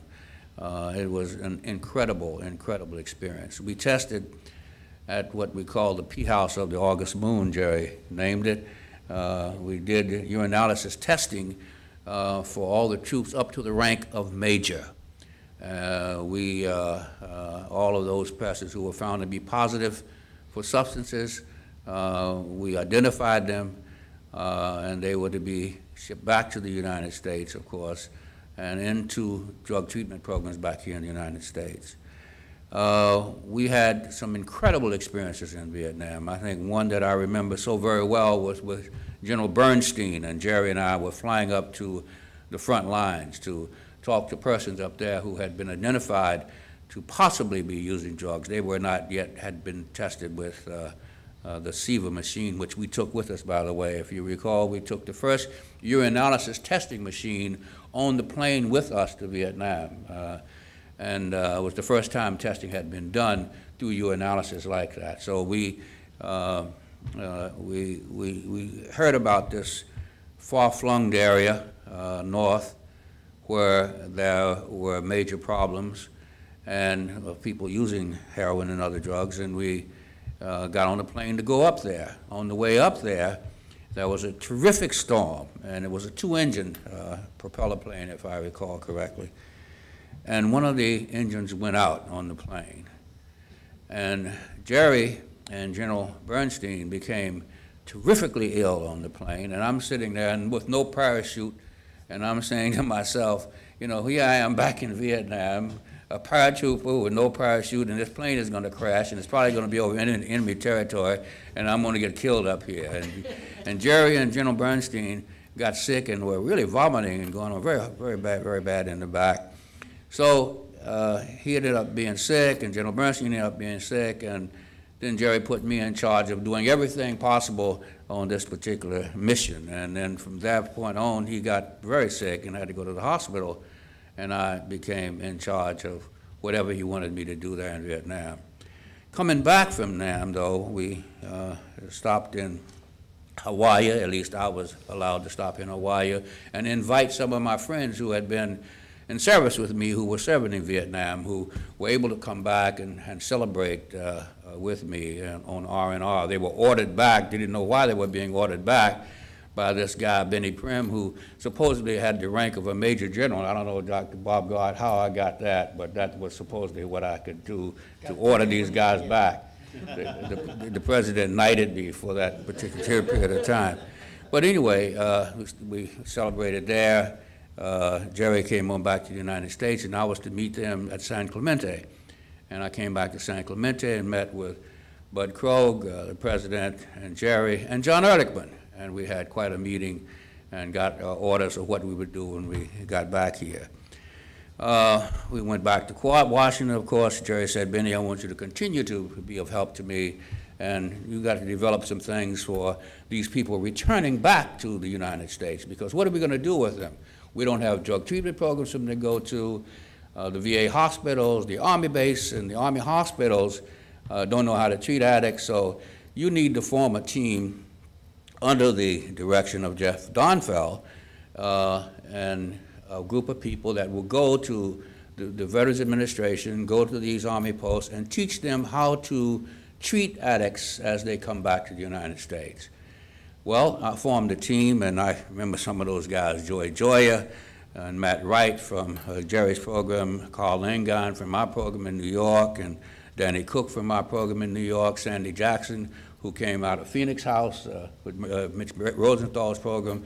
So we sent these people out to all these different uh, uh, uh posts, Army posts, and, and of course VA hospitals to teach them how to uh, be able to treat the addicted individuals who were returning from Vietnam. it was quite a quite an ordeal, as you as you remember, Jeff. We had numbers of training sessions. Did you show any of those slides, Jerry?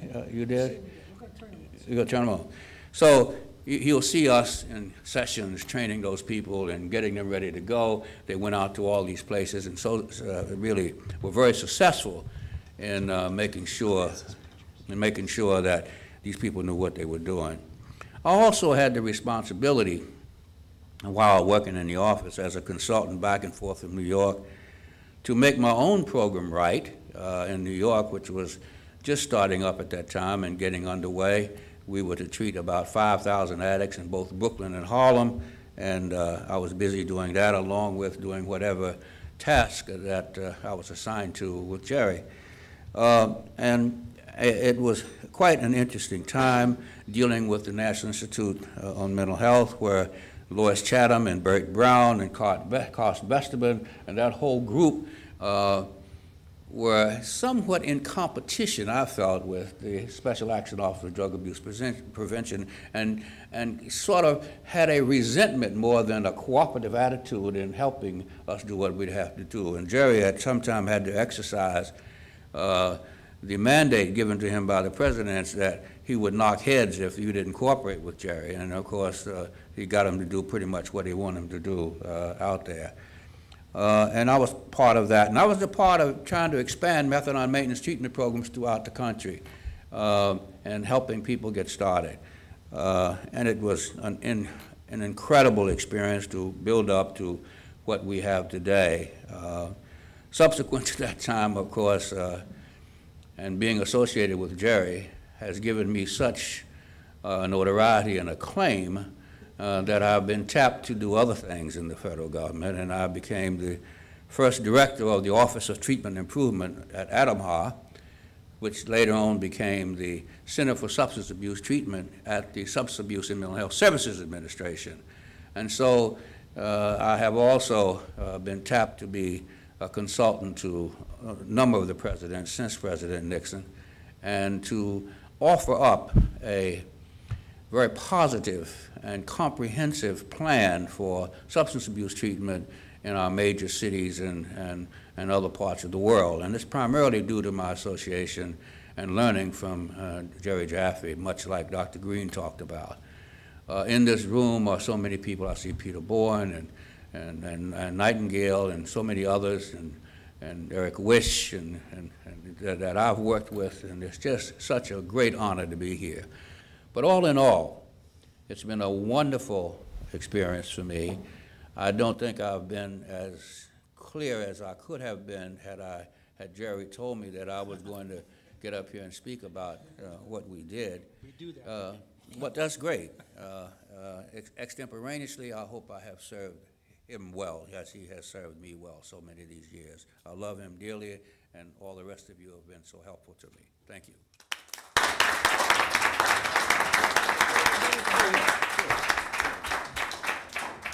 Well, we, we've uh, pretty much used up our time, but maybe we can take one or two questions for this panel, uh, because we'll have more questions after this to Dick. You need to take this.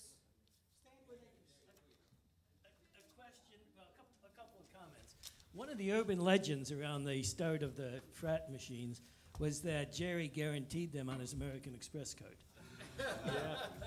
Actually, it's, that's close.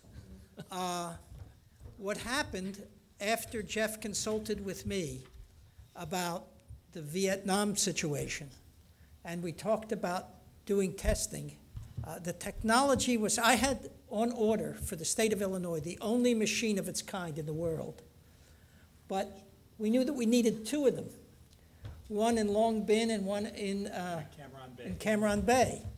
So I called the head of the company and I told him, look, I really cannot give you any further information because at the time, everything in the Nixon administration was secret. Usually. Ca- Can't say anything. I said, but I am calling from Washington and I would like to know, uh, you know, whether you have another machine. And he said, no. Uh, I said, well, uh, how long would it take to make one?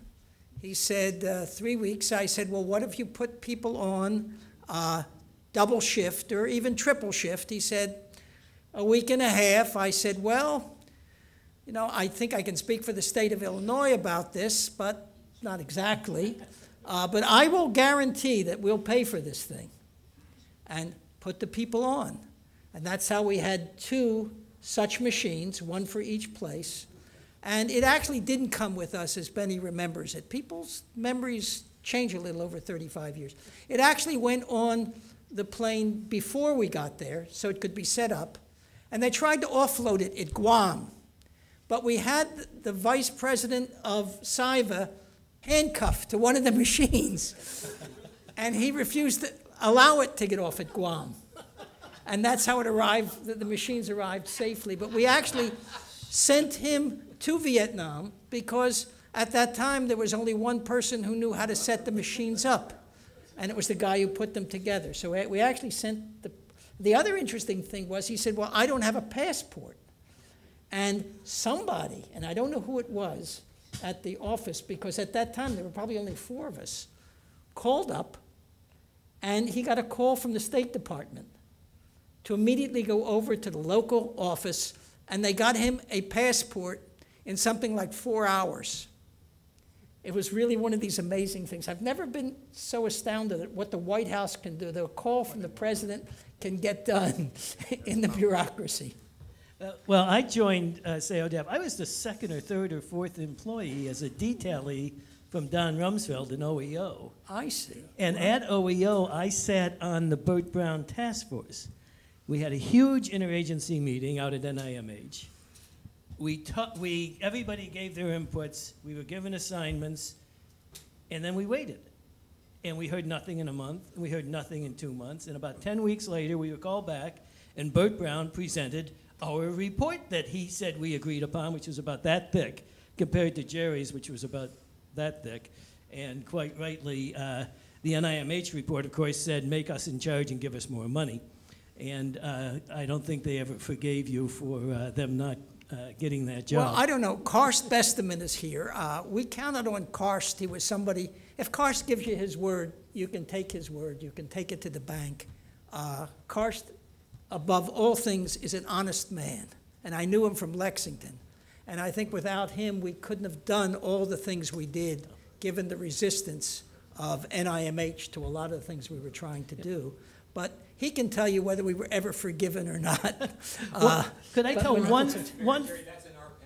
That's in, you- okay, I'm, Could, that, could, could I tell one final, final quick story? I think Alan Green might have been with us.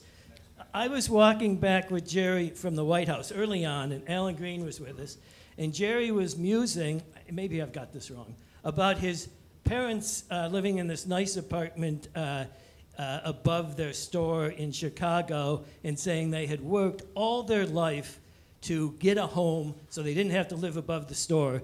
And he turned back and he said, And there's the president, and he lives above the store. I just wanted to say, for the record, a couple of things. What were the ingredients of the successful revolution? Well, first of all, you had two just superb staff people on the White House staff who were tasked with solving a problem. As, as Bud said, the problem was crime and drugs. The solution ran through treatment. But one of the things, and, it, and it's been alluded to, but it needs to be, it, it needs to be made very, very clear. We could have been at NIMH and been this smart, and nothing would have happened. It was Dick Nixon, the staff's ability to convince Dick Nixon to, to put budgetary money and presidential prestige and publicity behind this program. Uh, and that was due to, to superb staff work by two people, but it, but it was also a president who was open to an idea that wasn't his. The second thing that, that we're celebrating, we're celebrating two authentic heroes, Jerry Jaffe and Bob DuPont. And, and, and there should be no doubt about that. But they aren't heroes because of SAODAP. They're heroes because of what they did before they came to work for the government. And it really is unique to take really, really top people who aren't political and put them in charge. And that, that I think, is absolutely key to what led to this. And the third thing is the ideas. And, and I just, my, my take is different because memories are, are different from 30 years ago, but the, the brilliance of the Vietnam strategy uh, with the urinalysis was just superb because you, you, you remember it was experimental to, to say the least. And it really was a three day test. If you were clean for three days, the urinalysis came out clean. And there was a lot of criticism that that had nothing to do with addiction, that we were bringing these guys back and dumping them on society, and it was becoming a political problem. And it was Jerry's point, at least made to me, that's why I remember it. It was Jerry's point that it was the culture over there that would, the availability and the difficulty of serving, and that if you had to be clean to come home, and being clean said three days, that you were going to be okay. And what his urinalysis did, the famous Pee House of the August moon, what it did was separate the amateurs from the professional addicts. Because if indeed, with, with your own will and desire to get home, which was pretty damn persuasive, if you could do that, you could come, you could come home clean. And it was a huge difference, benefit for the military, but, but it was Jerry. And the second thing is methadone. Methadone is, a, is an experiment. Methadone is not, not accepted by science. And we had two people with the data who really believed in it. And, and we alluded to this beforehand that with methadone and methadone's availability put, put out across, across the country, those of us who dwelt in the dark side, who were in, in favor of a law enforcement response, could push as hard as we wanted because of Jerry's promise and Bob's promise that no addict would be denied treatment, that there wouldn't be a situation where someone was addicted to heroin and they couldn't come and get methadone. And that marriage of those two things, of law enforcement and treatment, is, is what enabled this to be successful. And I, I appreciate the opportunity to come say this because these, these people said it. Paul talked about an a, a, absolutely unanimous vote Bud and, Bud and uh, Jeff. You notice there's two Jeffs who work for Bud. There was Jeff Treatment and Jeff Law Enforcement. So Bud was able to say, oh, that's Jeff's problem. You know, and it really didn't matter which, which way it went. They were, Covered the waterfront. they, were inter, they, were, they were interchangeable. But, and, then, and then the two, the two authentic heroes from today. Thank you. Bob, I just wanted to say that, you know, we are here today to celebrate Jerry and Bob, and it, it goes back and forth between the two of them. Because in 1969, late 69, that's why I asked for the date, Bob was my teacher. I mean, we went to facilities, you were in my office regularly, and Bob tells Jeff, Jeff treatment, go see Jerry. Yeah. I mean, this was something that was a process that was going on between these gentlemen that led to where we were today and what we were eventually able to accomplish. And I just, as, as one who was somewhat of an outsider watching it, I want to thank you both for what you've brought to this program and what you're doing today. I think Jeff is right, it's who they were before they came and attracted other people, Paul, Alan, Bob, Jeff, me. I mean, we're all in your debt. I just want to thank you both. Thank you very much. 10-minute break, and we'll be back.